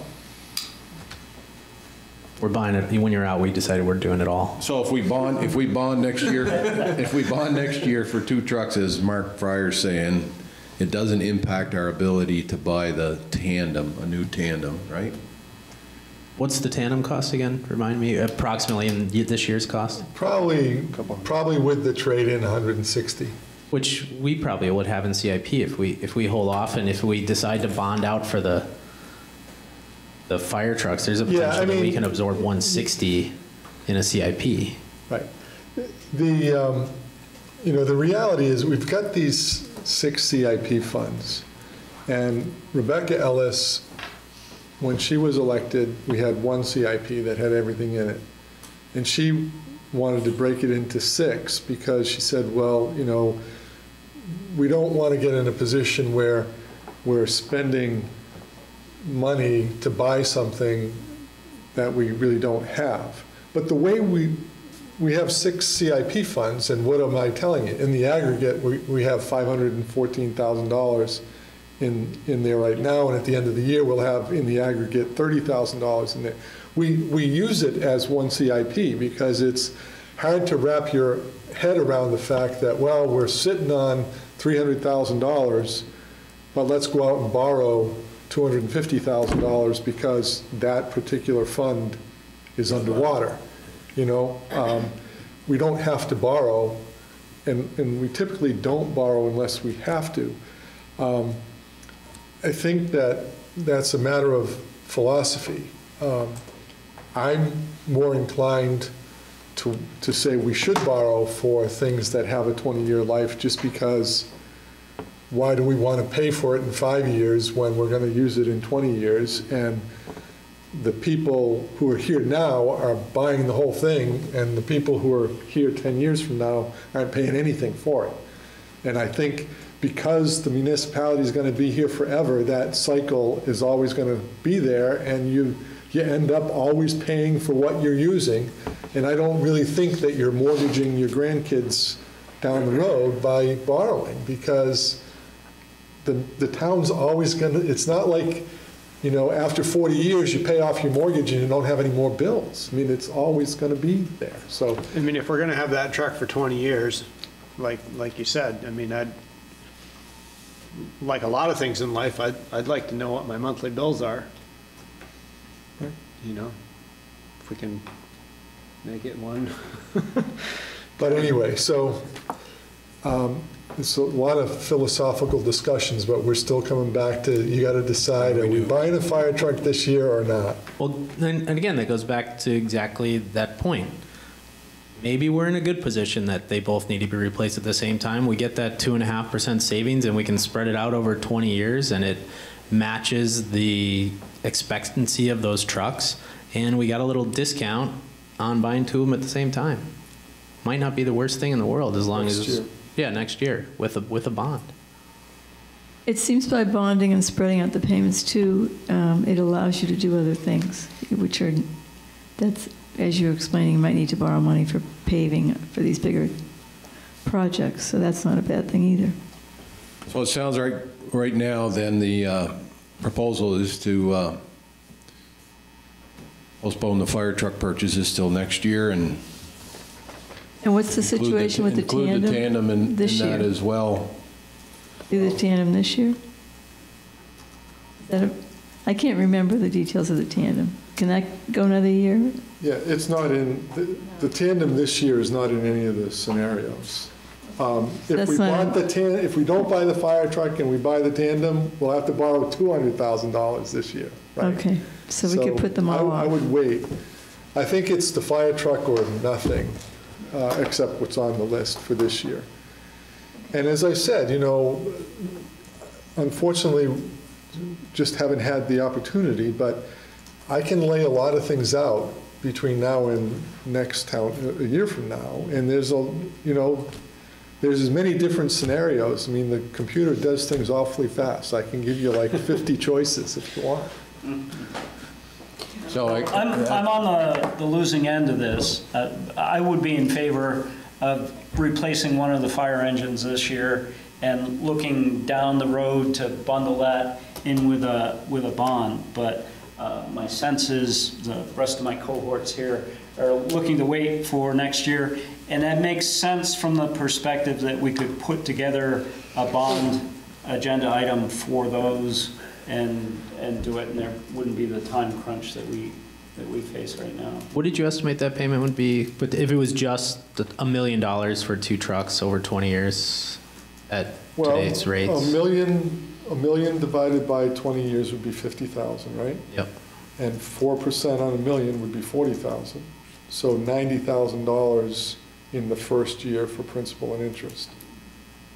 And then the next year, it would be um, 950,000 times 4%, so, you know, 30, 36, 37,000, something like that. So you'd, you'd drop to 87,000 or 86,000 the next year. So I mean, those year, are doable numbers. year one would be like 140,000 is, No. no, I thought it was 50,000 plus 90. Yeah, Okay. no, it would be 50,000 plus 40. Oh, okay, so 90,000 in a, in a, in the single year would be the highest potential. For a million dollars, if Right. I'm doing my math in my head, a million divided by 20 is 50,000, Yep. right?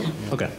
And 4% times a million would be 40,000. So 90. So Okay. 90,000 in the first year, which is, Which that first year would be 2021. right. Right. Okay? I guess we've reached a consensus.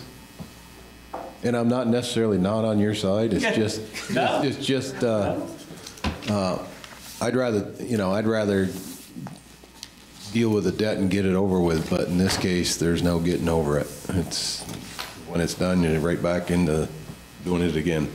So if someone, if, if you've kind of come to consensus, if someone would prove for the capital improvement budgets what I have marked as number one here? Uh, No, number one is the Not number that, one, the one that had no marking, sorry, I'm sorry. The one that I sent out on Saturday. Or Sunday. This one. So how do you want to label that one? So just say uh, you approve, uh, approve spending 941,000, s- no, that's revenues, uh, 1.425980 million. 1,425,980,000 dollars worth of capital improvement spending. You want to make that motion? I make a motion, nope. Make a motion that we approve spending $1,425,980 in combined capital improvement spending. Second? I'll second. Any further discussion? All those in favor, say aye, please. Aye. Aye. Opposed? Okay, thank you. All right, um, on Saturday, I also sent you out this sheet. Um, I'd like to talk about this first before we go into the operating budget, because it, the operating budget assumes $48,165 transfer from the CI, from the tax stabilization to the operating fund.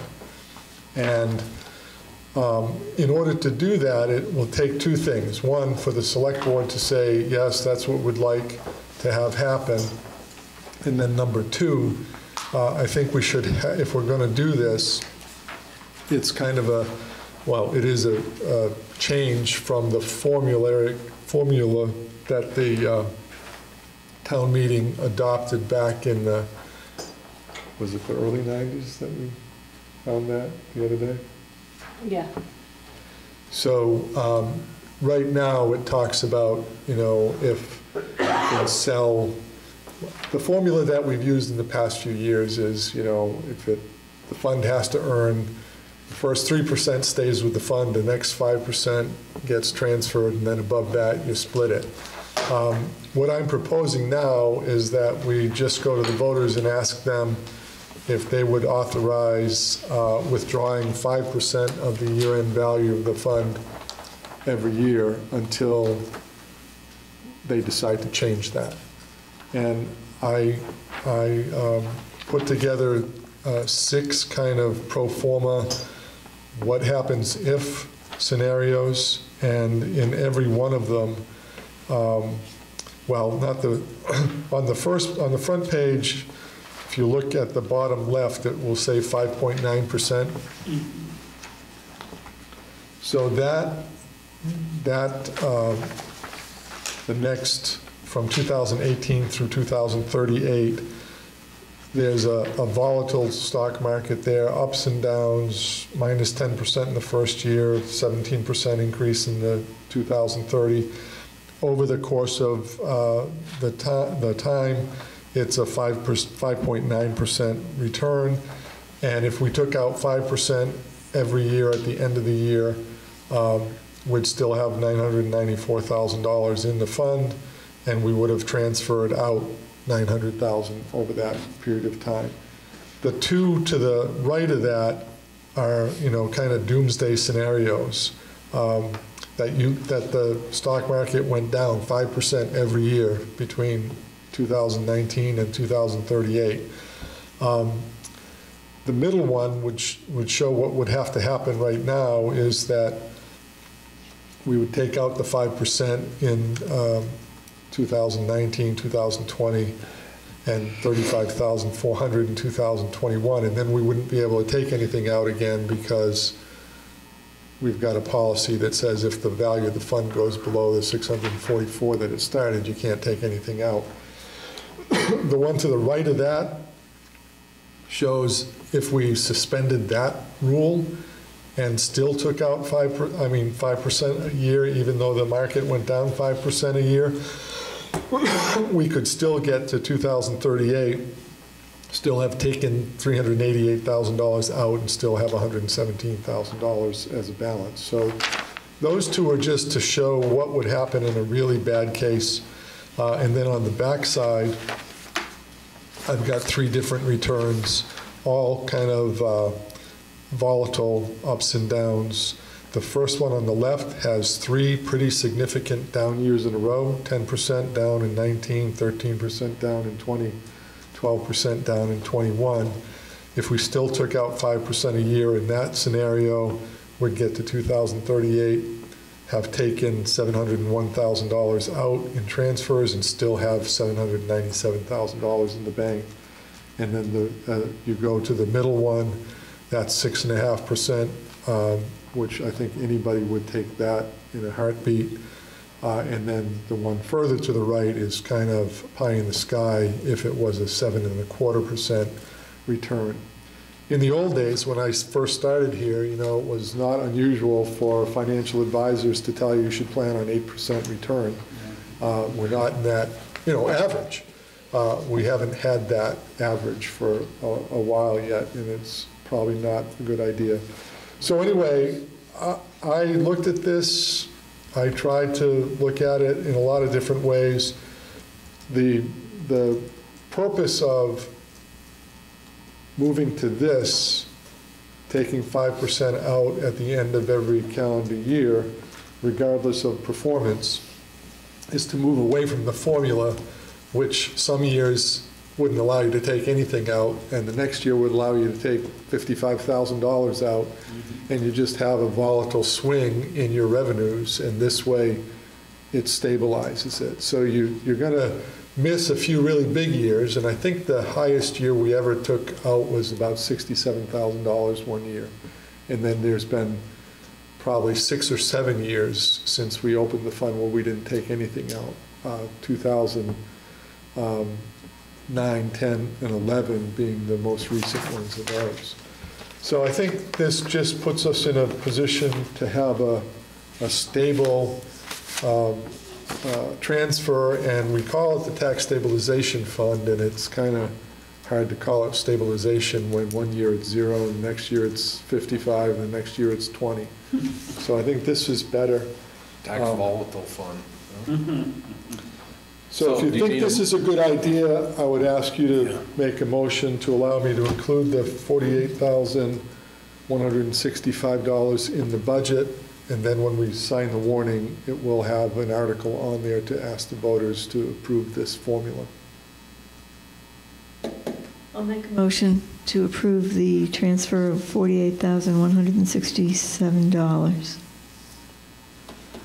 Five. I know it says seven on that, but in the, in the budget, it's 165. so- $48,165, From the tax stabilization fund. tax stabilization fund. Is there a second? I'll second that. Further discussion on this?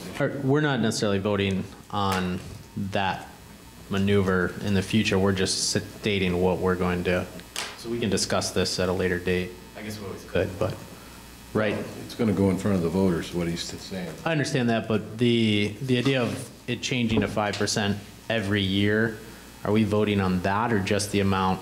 Well, the motion is just the amount. The, Right. the motion didn't include the, Right, so the, the, the um, motion that I suggest that we put to the voters, you have it, just so I can read it. Um, Article 8. To see if the voters will authorize the town treasurer in 2019 and in each, and in each succeeding year to transfer from the tax stabilization fund to the general fund up to 5%. So it's up to, so the select board could recommend less if they wanted to.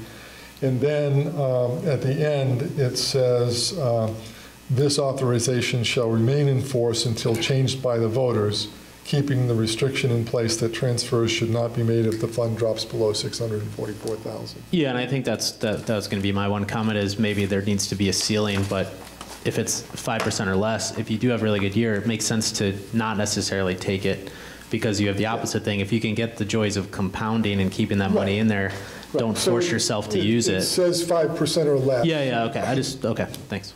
And that way, if the select board says, man, exactly that, we can live with only a $45,000 transfer and we could transfer 65, let's leave the 20 in there, you know, you- you'd have that option, the way that's written. Just secures you to be able to afford to take that 45 in, in down years. Well, you would be Now- taking 5% if, if, if 45 was there, but I just wanted to make sure that if you didn't have a, if, if for some reason the fund doubled one year, I think it would make sense for the board to really consider not necessarily taking Right. the full pull. And and that's why I said Yeah, yeah. the 5% or less. Sure, because I, that that's where I, I, I bring hadn't the seen the select or board- less. Yeah. Okay. All those that are in favor, say aye. Aye. Aye. Okay, um, so we've, we're down to the review of the general operating budgets. Um, We have reviewed almost all of these budgets in the past. We reviewed the fire budget already. Uh, We reviewed the planning budget. We reviewed the recreation budgets. Excuse me, and we reviewed the, um, the uh, library budget. The only budget really that we hadn't reviewed is the general government budget, which is on the first two pages. The the revenues are here on the first page, and then the general government budget is on the, on the second page. Um, I've made a few minor changes from what we reviewed last week. Uh, I put it in the memo, any expenses that we, that have come in that had to be posted back to 2018 have been done. I did lower the transfer that I had in the fire department budget. I think I had it up at like 169,000 last week, and this week I cut it back to 166. Uh, It's 3% increase over last year as opposed to 5% that I was looking at last week. Um, And I did that just as a means to try to, you know, get the tax rate down a little bit. As I said earlier tonight, I uh, would have hoped to put more into the CIPs. Last year, we did put more into the CIPs, significantly more. Uh, I don't think we have that luxury this year. Um, On the revenues, so if we look at the first page, um, I, I bumped the pilot up by $4,000, um, and I left the increase all here in the general fund, and uh, I carried $82,000 in the, in the highway uh, paving CIP that we already talked about. Um, The, the pilot payment has typically gone up incrementally every year, so I don't think it's a huge roll of the dice, and it's $4,000. The pilot payment has never gone down. I'm not saying never can happen, but it never has. Um, The village administrative service fee is $2,000 less than it was last year. Um, It's probably higher than it should be, but I convinced the E-Fund commissioners that leave it there for this year, and then we can talk about it going forward. Um, We don't have to get into the details of that. Everything else is pretty much uh, as it was last year. Um, I did bump the town clerk's fees down a little bit from what was budgeted. It is up a little bit from what we took in. It's up about $3,000 from what we took in. Went back and looked at the average, and the average was about 58 or 59,000, so I thought we could live with 60. Um, Knowingly repeating myself from last week, the revenues for the uh, recreation programs and the like are all soft numbers. Uh, But if we don't get those revenues, the expense numbers will be similarly down. So it's just, uh, you know, kind of the best educated guess that we can have. On the expense side, uh, the first line in the general operating budget is the regular pay line. Um, That's up uh, about 3%. Um, You know, increases for, for staff somewhere, you know, I would hope when we get to April, 2, 2.5% potentially. Um, The reason why that's a little higher is because the pay that, um, what we pay Barb Farr is in that first line. It's in the regular pay line. Uh, She's expecting to, to work a few more hours uh, in 2018. She's tried to average about 20 hours in 2019. Once we get to the April to November timeframe, which is when the construction will be happening on Main Street, she's expecting probably to go to 25 hours there. But that's all reimbursable by the state. So there's income on the first page, $65,000 of income under the um, transportation liaison line. And um, I budgeted 65 this year. We budgeted 49 last year. We received 42. And again, because we received 42, she actually, she didn't work as much on that, you know, so the reimbursement goes hand in hand with the hours worked, is what I'm trying to say. Um, The Historical Society is down about $6,000. They had a grant from Karen Steele to pay for an archivist. That money will run out sometime in 2019, and it's not likely that they will keep that position. It's a municipal position. We had to put that person on the town payroll just because workers' comp and FICA and all the rest of it. The Historical Society does reimburse us, so again, that's, um, it's an in and out, uh, it's no expense to the town. Uh, The Municipal Building Operating Fund, right in the middle of the page there under the general government, is down uh, $22,695. Um, That's a payment that we simply make to the Municipal Building Operating Fund. We talked about that last week. Um, The time that the Public Works Department is spending here is lowering, and last year's budget and this year's budget had the one-time expense of the generator, which is, you know, $80,000-ish, and that won't be happening again. So um, Well, Bill, why would I think that uh, we were going to close that, that uh, line item out? Was that, uh, well, wasn't there a surplus in the municipal building operating fund that paid for the generator, and I thought we were going to, like, drain that and delete that?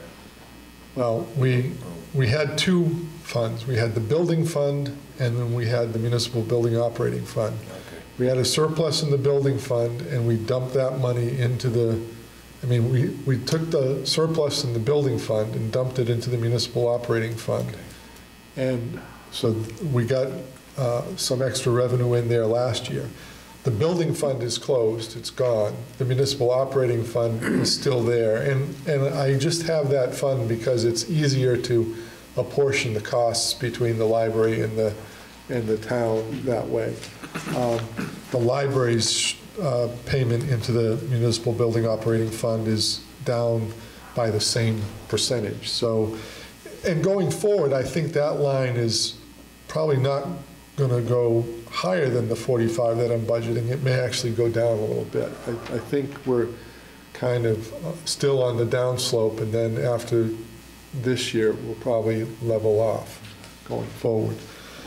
Um, So we had a big savings there, um, but if you go down a few lines to the commercial audit, which is in purple font, if your font is big enough to see it, um, 30,205 is being carried in the 2019 budget, which is $20,205 higher than last year's budget. Um, When we, well, you didn't look at it. When I looked at this a couple weeks ago, I had $22,000 there. The reason it's 3205 is because we haven't finished paying for the 2017 audit yet, and the auditor told me he wanted me to post it in 2019.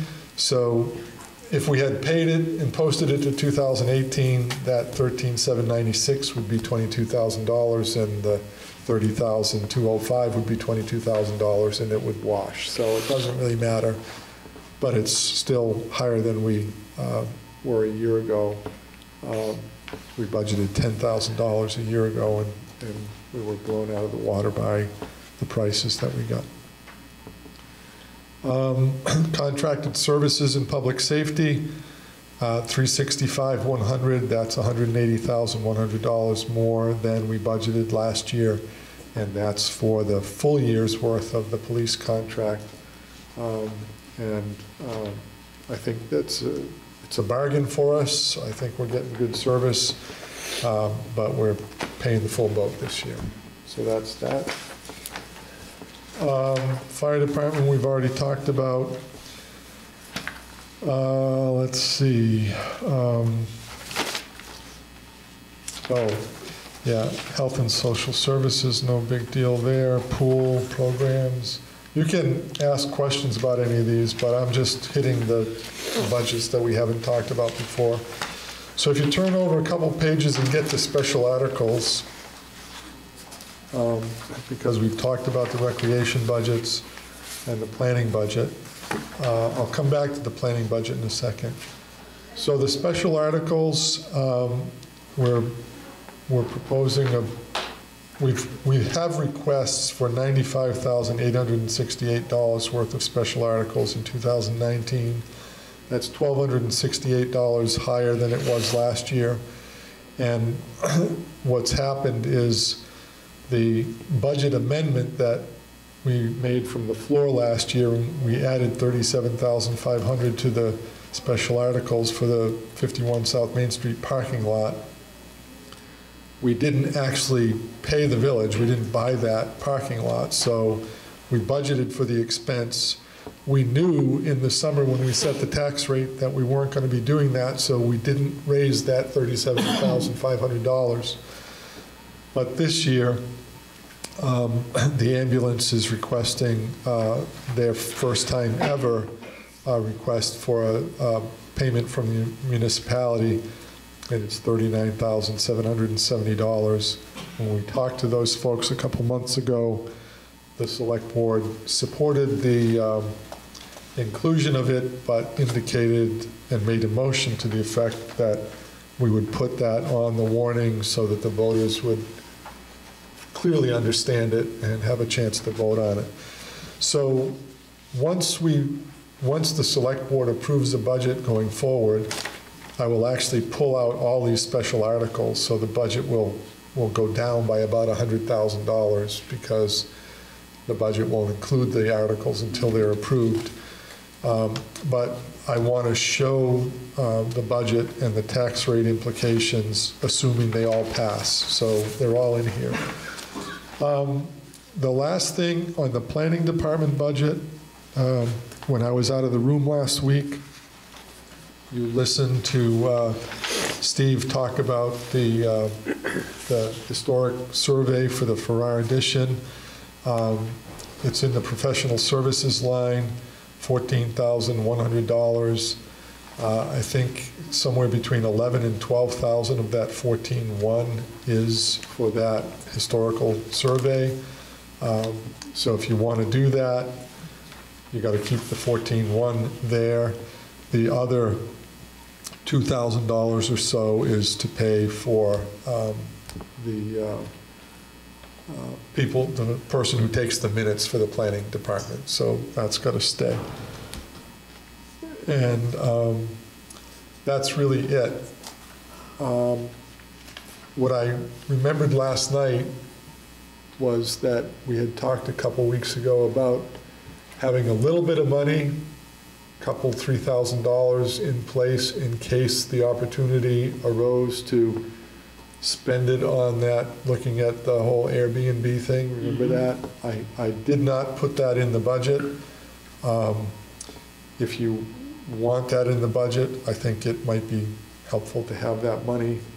I'd add three thousand dollars to the planning budget.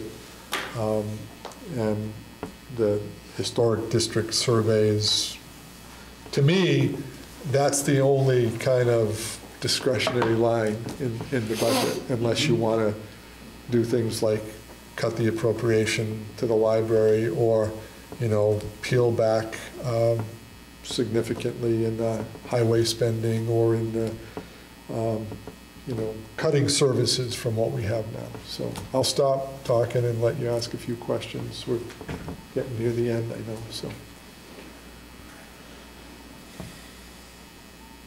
So with what you got here, the tax rate proposed is, Yeah, so if you turn back to the front page, I should have finished, I should have finished this. If you turn back to the front page, um, up in the top right, where there's just those um, three or four lines there with nothing underneath it in the columns, um, the, the number right to the right of where it says percent change, $7,462,230. That was the 2018 grand list number. The number to the right of that, $7,507,000, is a six tenths of 1% increase on the grand list. Below the 2018 grand list number is a number that's in purple font, 3,386,780. That's the taxes that we raised in 2018. If you divide those taxes by the $7.4 million grand list, you see right below that, 0.45385, whatever.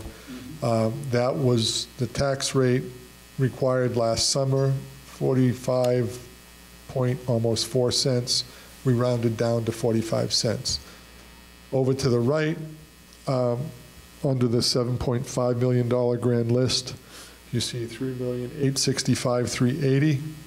That is the taxes that you would need to raise to support this budget that we've just talked about. If you don't make any changes, dividing the taxes by the grand list, it's .5149. Uh, Rounded, I would round that down again to 51 cents. Um, And, and that would be a six cent increase in the, in the grand, li- I mean, in the tax rate. Um, And I think that's around 13.3%. The 14.13 above there is, is uh, one of the other numbers. But um, the, uh, yeah, the $478,600 of additional taxes is 14.13% more taxes, but when you factor in a six-tenths of a percent increase in the grand list, the tax rate increase would be 13.3, I think, and 13.3 doesn't show on this page anywhere. I'm just remembering that. And then to the right there, I'm just showing that um, the, uh, uh, of the 478, $600,000 uh, increase from one year to the next, the additional $180,000 and the $40,000 for WASI, police in WASI, is 222,320 of the 478. The remaining other tax increases for the loss of, uh, loss of fund balance uh, from one year to the next and additional um, spending that we're doing would be the other 256,280. So of the six cent tax, the, the tax rate increase um, would be about three cents for the police and a little more than three cents for the other tax increases. And that, that's just taking the, the straight taxes. Um, The percentages are a little different because the grand list is included there. So, um, a- a penny on the tax rate raises about $75,000. So you got to get about, you know, 42,500 out to drop it by a half a cent. To drop by a penny, you got to get $75,000 out. Which I think will be hard to do unless you, unless you decide to cut something. It could be really argued too that the, the police, we were able to find that money, but really it's 385, right? Or 365 divided by 70. So it's really five cents. Yeah, the, the, it's the difference from last year to Right, right, this right. year. But, but ultimately it's five cents. Yes. It's just, you're Yes. showing the difference, I'm but. just showing the difference. Yeah, but I think it's year to the important that the public knows that that's really five cents. We're almost, we're, we're really raising it one penny plus, plus the police budget. Look at it as a way that the police budget didn't go back exist. Half of that was in there. If you go back, sure. if you go back to 2017, Yep. when we had a 45 cent tax rate, and then you skip 2018 and go to 2019, right. Right. it's $365,000 more Right. for police than it was in 2017, and it's 5 cents. But half of it was last year and half of it was this year. So, um, you know, it it is 365,000 divided by 75. It's, it's 5 cents of the, of the 51 cent tax rate, but to be fair, it's, it's half again. So either, way, you know, you can do anything you want. Oh, it's half again because, okay. Yeah, because we paid half of it last year.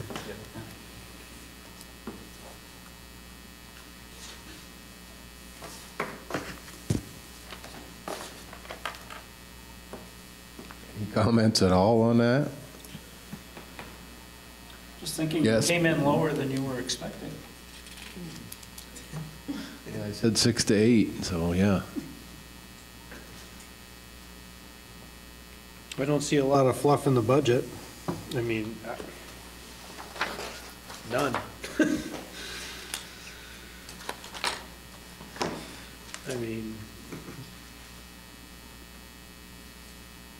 cutting seventy-five thousand dollars out of this thing would be hard. Well, I was going to continue to pick a fight over the library increase uh, for the sake of the rest of the budget, but uh,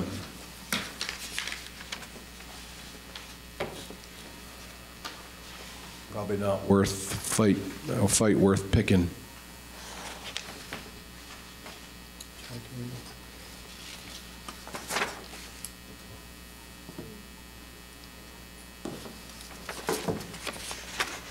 Um,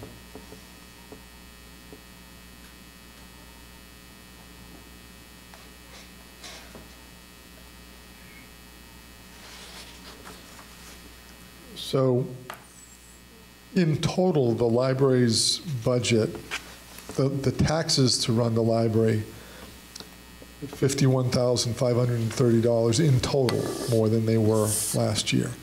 And it's almost 12%. Their budget has gone up 2.3% from last year. Um, The, position that they talked about when, you know, Dan and Almy made the presentation and what Everett talked about tonight is um, about seven twelfths the cost. It's going, the same thing will happen next year to that line item as happened to the police this year.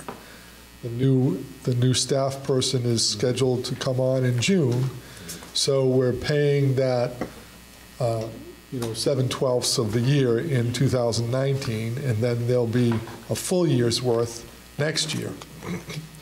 Um, But even if you ask the library commissioners to take an additional $50,000 out of their trust to cover the $51,000 tax increase that they're having, you're going to save six tenths of one cent on the, so the, the, the tax rate would go from,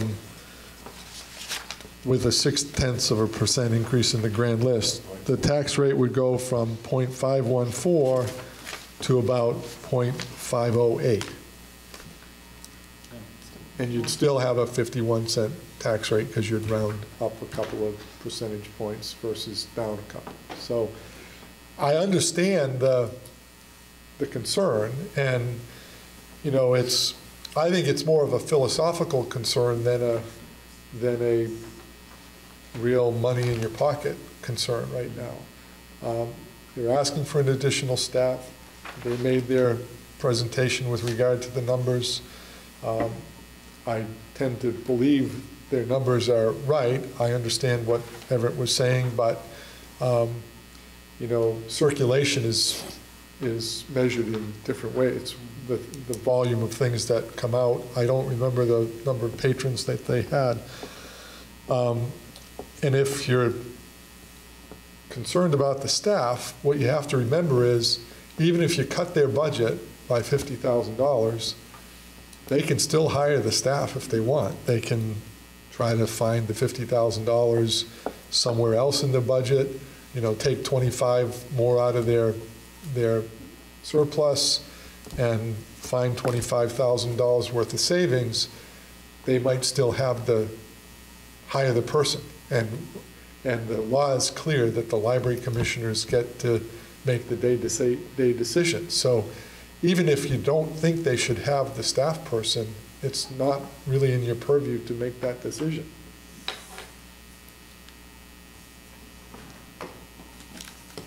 So is there any other comments, concerns? Not hearing much here from people. Largest tax increase we've seen in some time. Yeah, but the stuff that's being paid for is, is pretty critical stuff.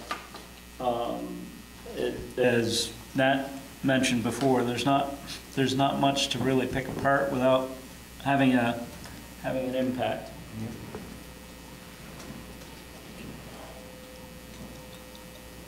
I also think we were lucky to have no tax increase for three years. Mm-hmm. Well, we worked hard not to have a tax increase for three years. There was some luck involved. We too, benefited from having no tax increase. It was hard work. Well, and I think we had some huge projects come onto the grand list in those years that helped in a big way. And I think that's something that I think moving forward, you know, even the conversation tonight about values in this town is that we do have to think about, you know, part of the reason the values are up is supply demand, right? So there's something to be said for, you know, as we talk about growth of this town, that the reason we were able to stay flat was the growth of the grand list. And I think we, we, we need to keep that in the back of our mind that, you know, if, as long as we continue in popularity, if we do nothing and we try to hinder smart growth, we could potentially be putting ourselves in a worse situation. We do need to, we do need to address that to a certain degree to make sure that, you know, because if supply demand doesn't keep up and we, we don't, we work against growth, we could potentially see increased values, but that also brings increased taxes and bringing on certain projects to address some of the residential squeezes, whether it's Airbnb or whatever. I just know that personally in my employees that they struggle to find affordable housing around here. And I think um, finding an affordable single-family home is also another problem in this town. So I think addressing some of those issues and finding the right people that want to come in and do those those projects and, and help with those demands could potentially help, you know, increase grand list that increases incomes. You know, because I, I immediately went to incomes when I when I when we we started saying, well, what do we have any comments on it? And you know, incomes aren't keeping up with ex, ex, in, income increases aren't keeping up with in, expense increases, which part of it is that we voted in the police department, but you know, we're, I don't think we should expect year to year that expenses aren't going to increase at a certain rate. And if we don't have grand list growth, we're going to have to expect a higher rate. So I think, you know, there's, there's a balance there without getting too out of control. And I think it helps the town. Well, increased values doesn't always have to equate into increased taxes. Uh, Your tax rate is structured to service the debt. So if you can increase your values and not incur more debt, your taxes should go down. That's the way it should work. But I have yet to see it happen. We were able to stabilize at a 45 cent rate for three years through other fortunate, you know, occurrences that assisted us in, you know, paying for what we had to pay for. Do Like, mean- just like the pilot, pilot program Yeah. increasing. Do you, when you say debt, do you mean expenses or do you mean debt? Because I'm saying, debt I'm is going saying, I'm saying expenses, I'm sorry. Okay. I'm, yeah, to me, debt Debt's is, going down. debt is an expense, but in, in your case, yes, expenses. If you incur more expenses in the municipality, then you have to adjust the tax structure to service that debt. But if, on its own, if we didn't incur any more Expenses. expenses and our debt stayed what it is, your taxes should go down, right? Yeah. If you don't, if your expenses stay flat and your, and your property values grow, your tax rate and your taxes will go down. But I think that expenses do typically rise over time. And if you're lucky, your grand list keeps up. And, you know, I think more times than not, the grand list growth has been a little less than the inflationary growth here. Like last year, you know, inflation was 2.1%, our grand list grew six tenths of 1% last year. There's been years where we've had 3 or 4% grand list growth while in the village. In the town, I think the highest I remember is about 3%. Um, But anyway. Um, So do you just need the- a? Well, just the one, yeah, I, I need a motion. I just want to make sure, and I'm, I'm not trying to say that we shouldn't do it. The, the only discretionary line in here is this $14,000 line in the planning Yeah. department for And the the change in the tax rate wouldn't history even project. merit that. I mean, philosophically, I, I had objections to that because I don't think, given with the expenses we were facing, that necessarily now is the time to do it. But the amount of money we're talking about, and it, it, it saves nothing, uh, and it's just a matter of throwing dirt against the wall, so. Well, what about, Because I, I think there's value to doing Yeah, I that. think there is too. And and I think that that's entirely appropriate. Um, My objection is that, is now the time we need to do that? And I don't know that we need to, but uh, given the the insignificant amount that we're talking about, um, it, it makes no sense to delay it. so I was anticipating somebody was going to want to take it out. And if you wanted to take out the 12, I was going to ask you to put three or four back in for the, the housing study if that ever came up.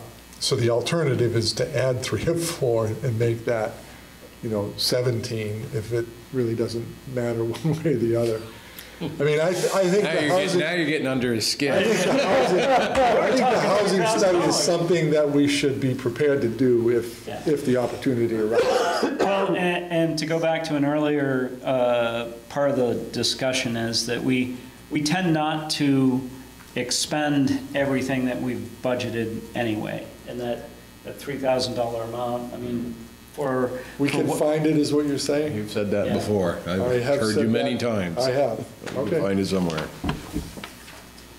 So, I would agree. I think you'll find it somewhere. would somebody like to um,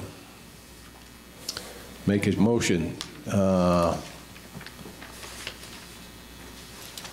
to approve the budget as presented under the scenario that will raise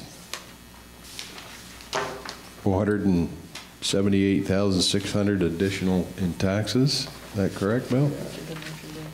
For, uh, Um, I think what you might want to say is that you, just, just say that you approve. The general the- operating budgets The as general presented. operating budgets as presented, and I'll put a date on this. So moved. second from someone? Second. Any further discussion? All those who wish to approve, say aye. Aye. Aye. Aye. Thank you. Another season over, Well, kinda, the crunching is over, now the Right. writing begins. right. Okay. What's on next on the agenda? Anything? Uh, I think we have to look at the warning, right? We have version, version two, We're going with version two. which is the Article 8 uh, reference to the 5%. Article seven is WASI, Article eight is the tax stabilization fund. Yep. Is there another? Article nine is the budget. Now, the question I have with that is Article 7 with the, what we saw in here, um, the the WASI piece had been included. Yeah, so what will happen is, I'm going to, when I go back to work on this, the budget, the general operating budget right now, uh, not including the highway and the, and the library, is $2,910,000, and that includes all the special articles. So I'm going to take $95,868 out. So the budget that will go before the voters will be without the special articles. So Article 7 will be the first special article, if you will. So we won't double pay them. I was just wondering from a bookkeeping Yeah. perspective. We won't double tax us. Uh, Bill and I had talked about moving, uh, the last article possibly to the front. What do you think about that? last. Other business. To do any other business? Yeah, because of what happened last year there with the, uh. Well, because everybody left and then gun- everything happened? Thing, yeah. Well, the, the issue of the, somebody tried to get the town meeting to approve the gun thing, Mhm. and it, A, wasn't warned, Yeah. and B, a lot of people had left. The, moving it up doesn't do anything about it's not warned. They, it's just they mm. get to talk about it with everybody there as opposed to half the people going. If you want, I mean, it's certainly mean- up to you to do that if you want. Well, people usually sit through the meeting, listen and debate, and then may have some other stuff they want to do at the end. So you're suggesting that we don't? So it's just hierarchy. No. Well, you could, I suppose you could do what you do on this agenda, on your select board agenda, Chris. You could just put public comment at the beginning and then s- keep other business at the end. And if people want to bring something up at the beginning, they could do it.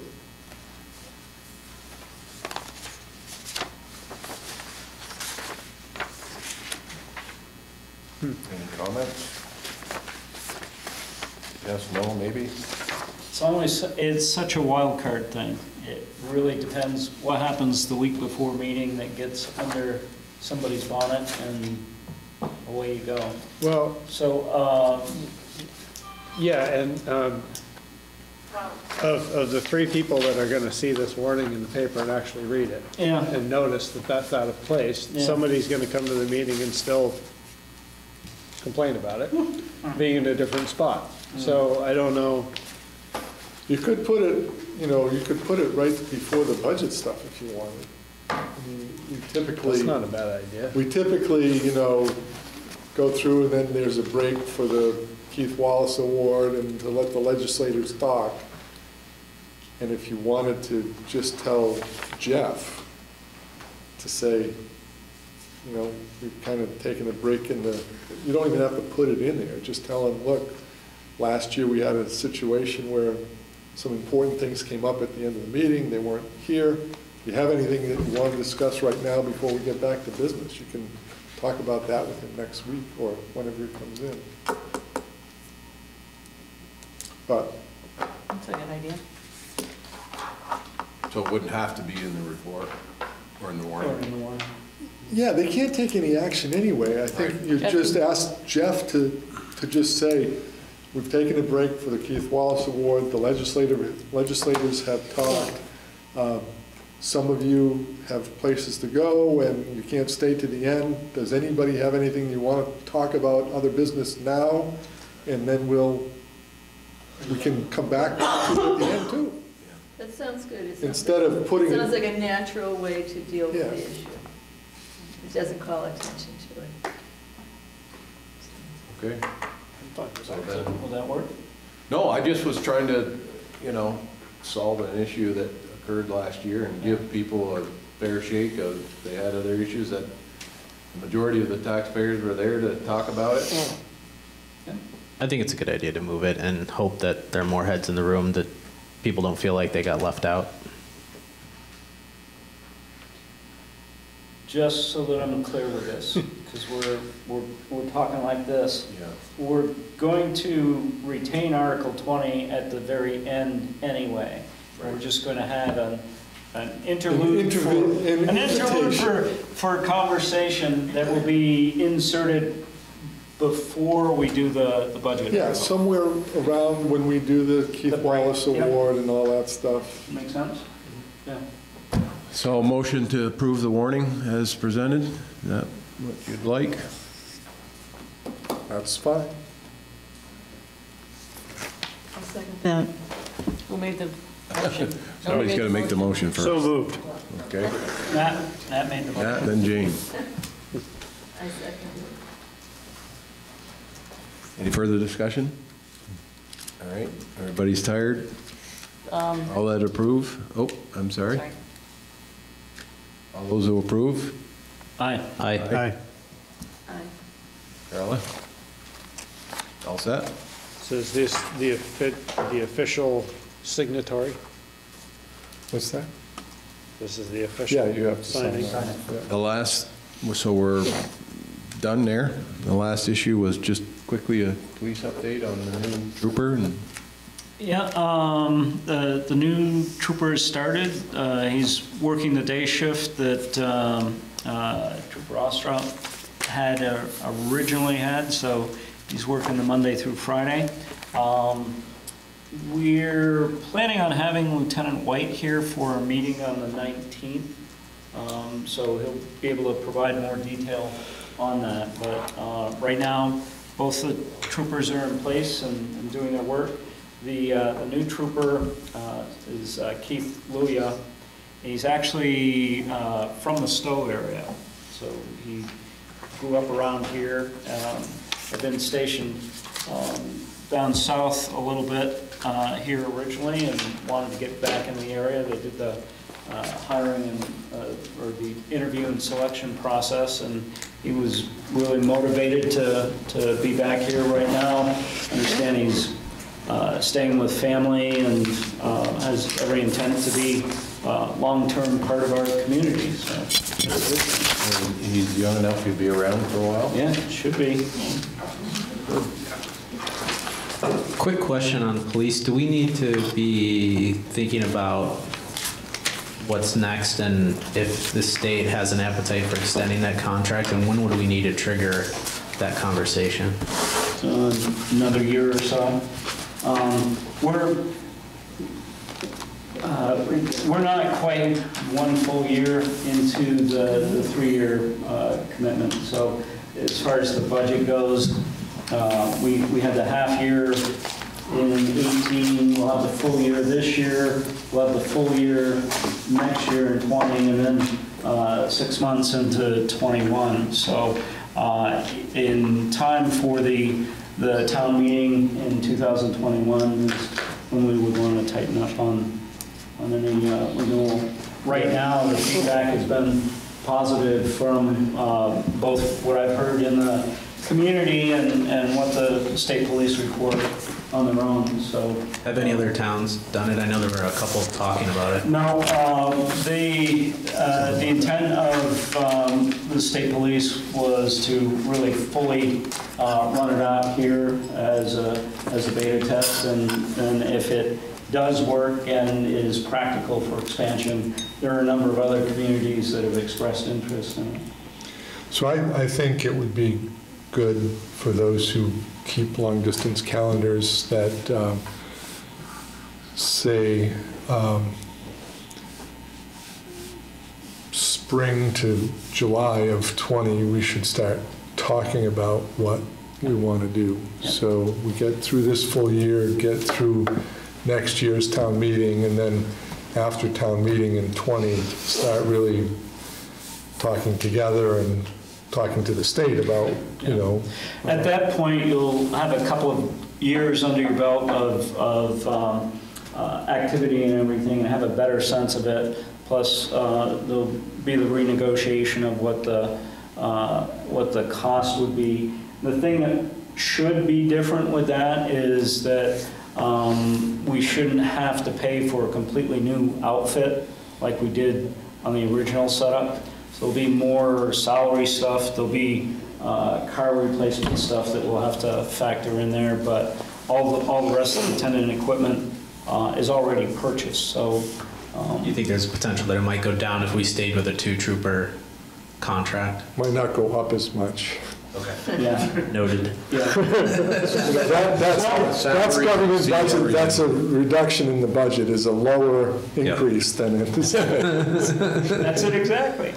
Um, have they, just a real quick final question on this, um, have they said that they feel like two troopers right now is enough to service the town appropriately and they don't feel like they're overwhelmed by the amount of work or anything like that? Yeah, the, um, uh, what we've seen, I've, I've got the last month's um, uh, stats that I want to pull together, but uh, our goal has been that uh, the bulk of the coverage would be provided by the troopers assigned here.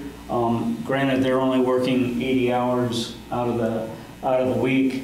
Um, Up until the transition in December, uh, that really was the case. Tail end of November and into December, Rick was taking some time off uh, in in preparation for his retirement and everything, so there was more coverage by the Middlesex troopers than uh, the local troopers. But now that uh, we've got two, two folks back online, I would expect that the January one would show that shift back again.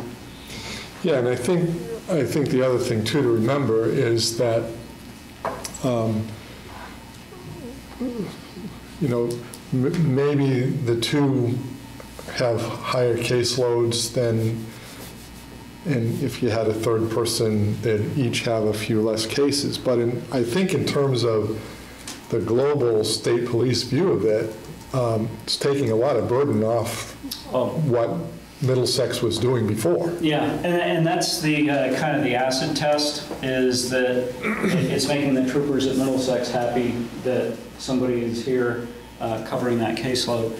And again, until we got into later November and, and December, wintertime tends to slow down a little bit for activities. Um, The first few months, we average roughly around 100 calls for service a month. Um, It's, it's been down in the 80 range in November and December, but again, that's, that's weather driven and, and the like. But uh, it's, it's a consistency. Criminals Yeah. come out more when it's good Well, weather. and that's why I never would want to do that line of work in a warm climate, because you never get the winter break. There's no downtime, huh? But I think the point was, does it seem like two, can we sense yet if two troopers is adequate for that number of calls? Yeah, the, uh, the, Predictable? or- the, the good fortune for us is that when they require any sort of supplementation or assistance, uh, the. They're nearby. Yeah, the main station is just a couple of miles down the road, so that's, in the world of state police, that's, that's golden. Right. It's, uh, It, it's only a 10 or 15 minute response as opposed to the half hour, 45 minutes that you get in a lot of And. I, and I think, I think what we should be more worried about, and it's not that I'm concerned that the two troopers might have a heavy caseload, we're paying the state for that. I think the measurement that we want to look at is, do we have people in the community who feel that they're not getting the service that they, that they need? And, I- and so far, everything I hear is good, Yeah. that, that people see the troopers driving by, just patrolling.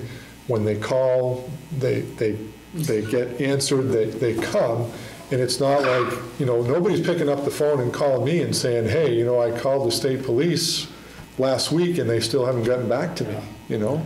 And- I, I had one, one resident that was actually teed off because he got pulled over and he couldn't believe that, you know, why, what do we need a police department for? Yeah, He only got a warning, but, uh, yeah, he was pretty, pretty ticked off there that he even got pulled over. He was in a rush to go to work and, anyway. Before you adjourn, um, I would recommend, if it's all right with you, that you have a meeting scheduled for next week, which is the first Monday in February, and we've met for four weeks in a row, I think. Nothing on the agenda. and there's really nothing. Uh, So the, the next meeting would, was supposed to be on February 18th, which would be President's Day. So we would propose that we meet on Tuesday, the 19th. Okay. Fine. And um, Bill, when we had talked about this earlier, having uh, Lieutenant White join us, I guess there'd been a request to perhaps schedule that meeting at six as opposed to seven. He had asked for earlier, but there was something in an email that you asked. I I didn't know if that was a a standing request or if it was only because it was supposed to be on a certain day. So Yeah, I'm- I'll I'll let clarify that. you reach out to him and figure it out, okay? Yep. So the potential is we might be earlier, um, but otherwise the 19th is looking good. You don't need a motion for that. Uh, I think you should just, you should make a motion to cancel your meeting scheduled for February 4th, and that you'll meet next on the 19th at an appointed time to be determined later. You don't have to say all that, but So moved. Is there that you go. the way to say it? I'll second that. Okay. All those in favor, say aye. Aye. Motion to adjourn. So moved. Second. All those approve? I. Aye. Aye.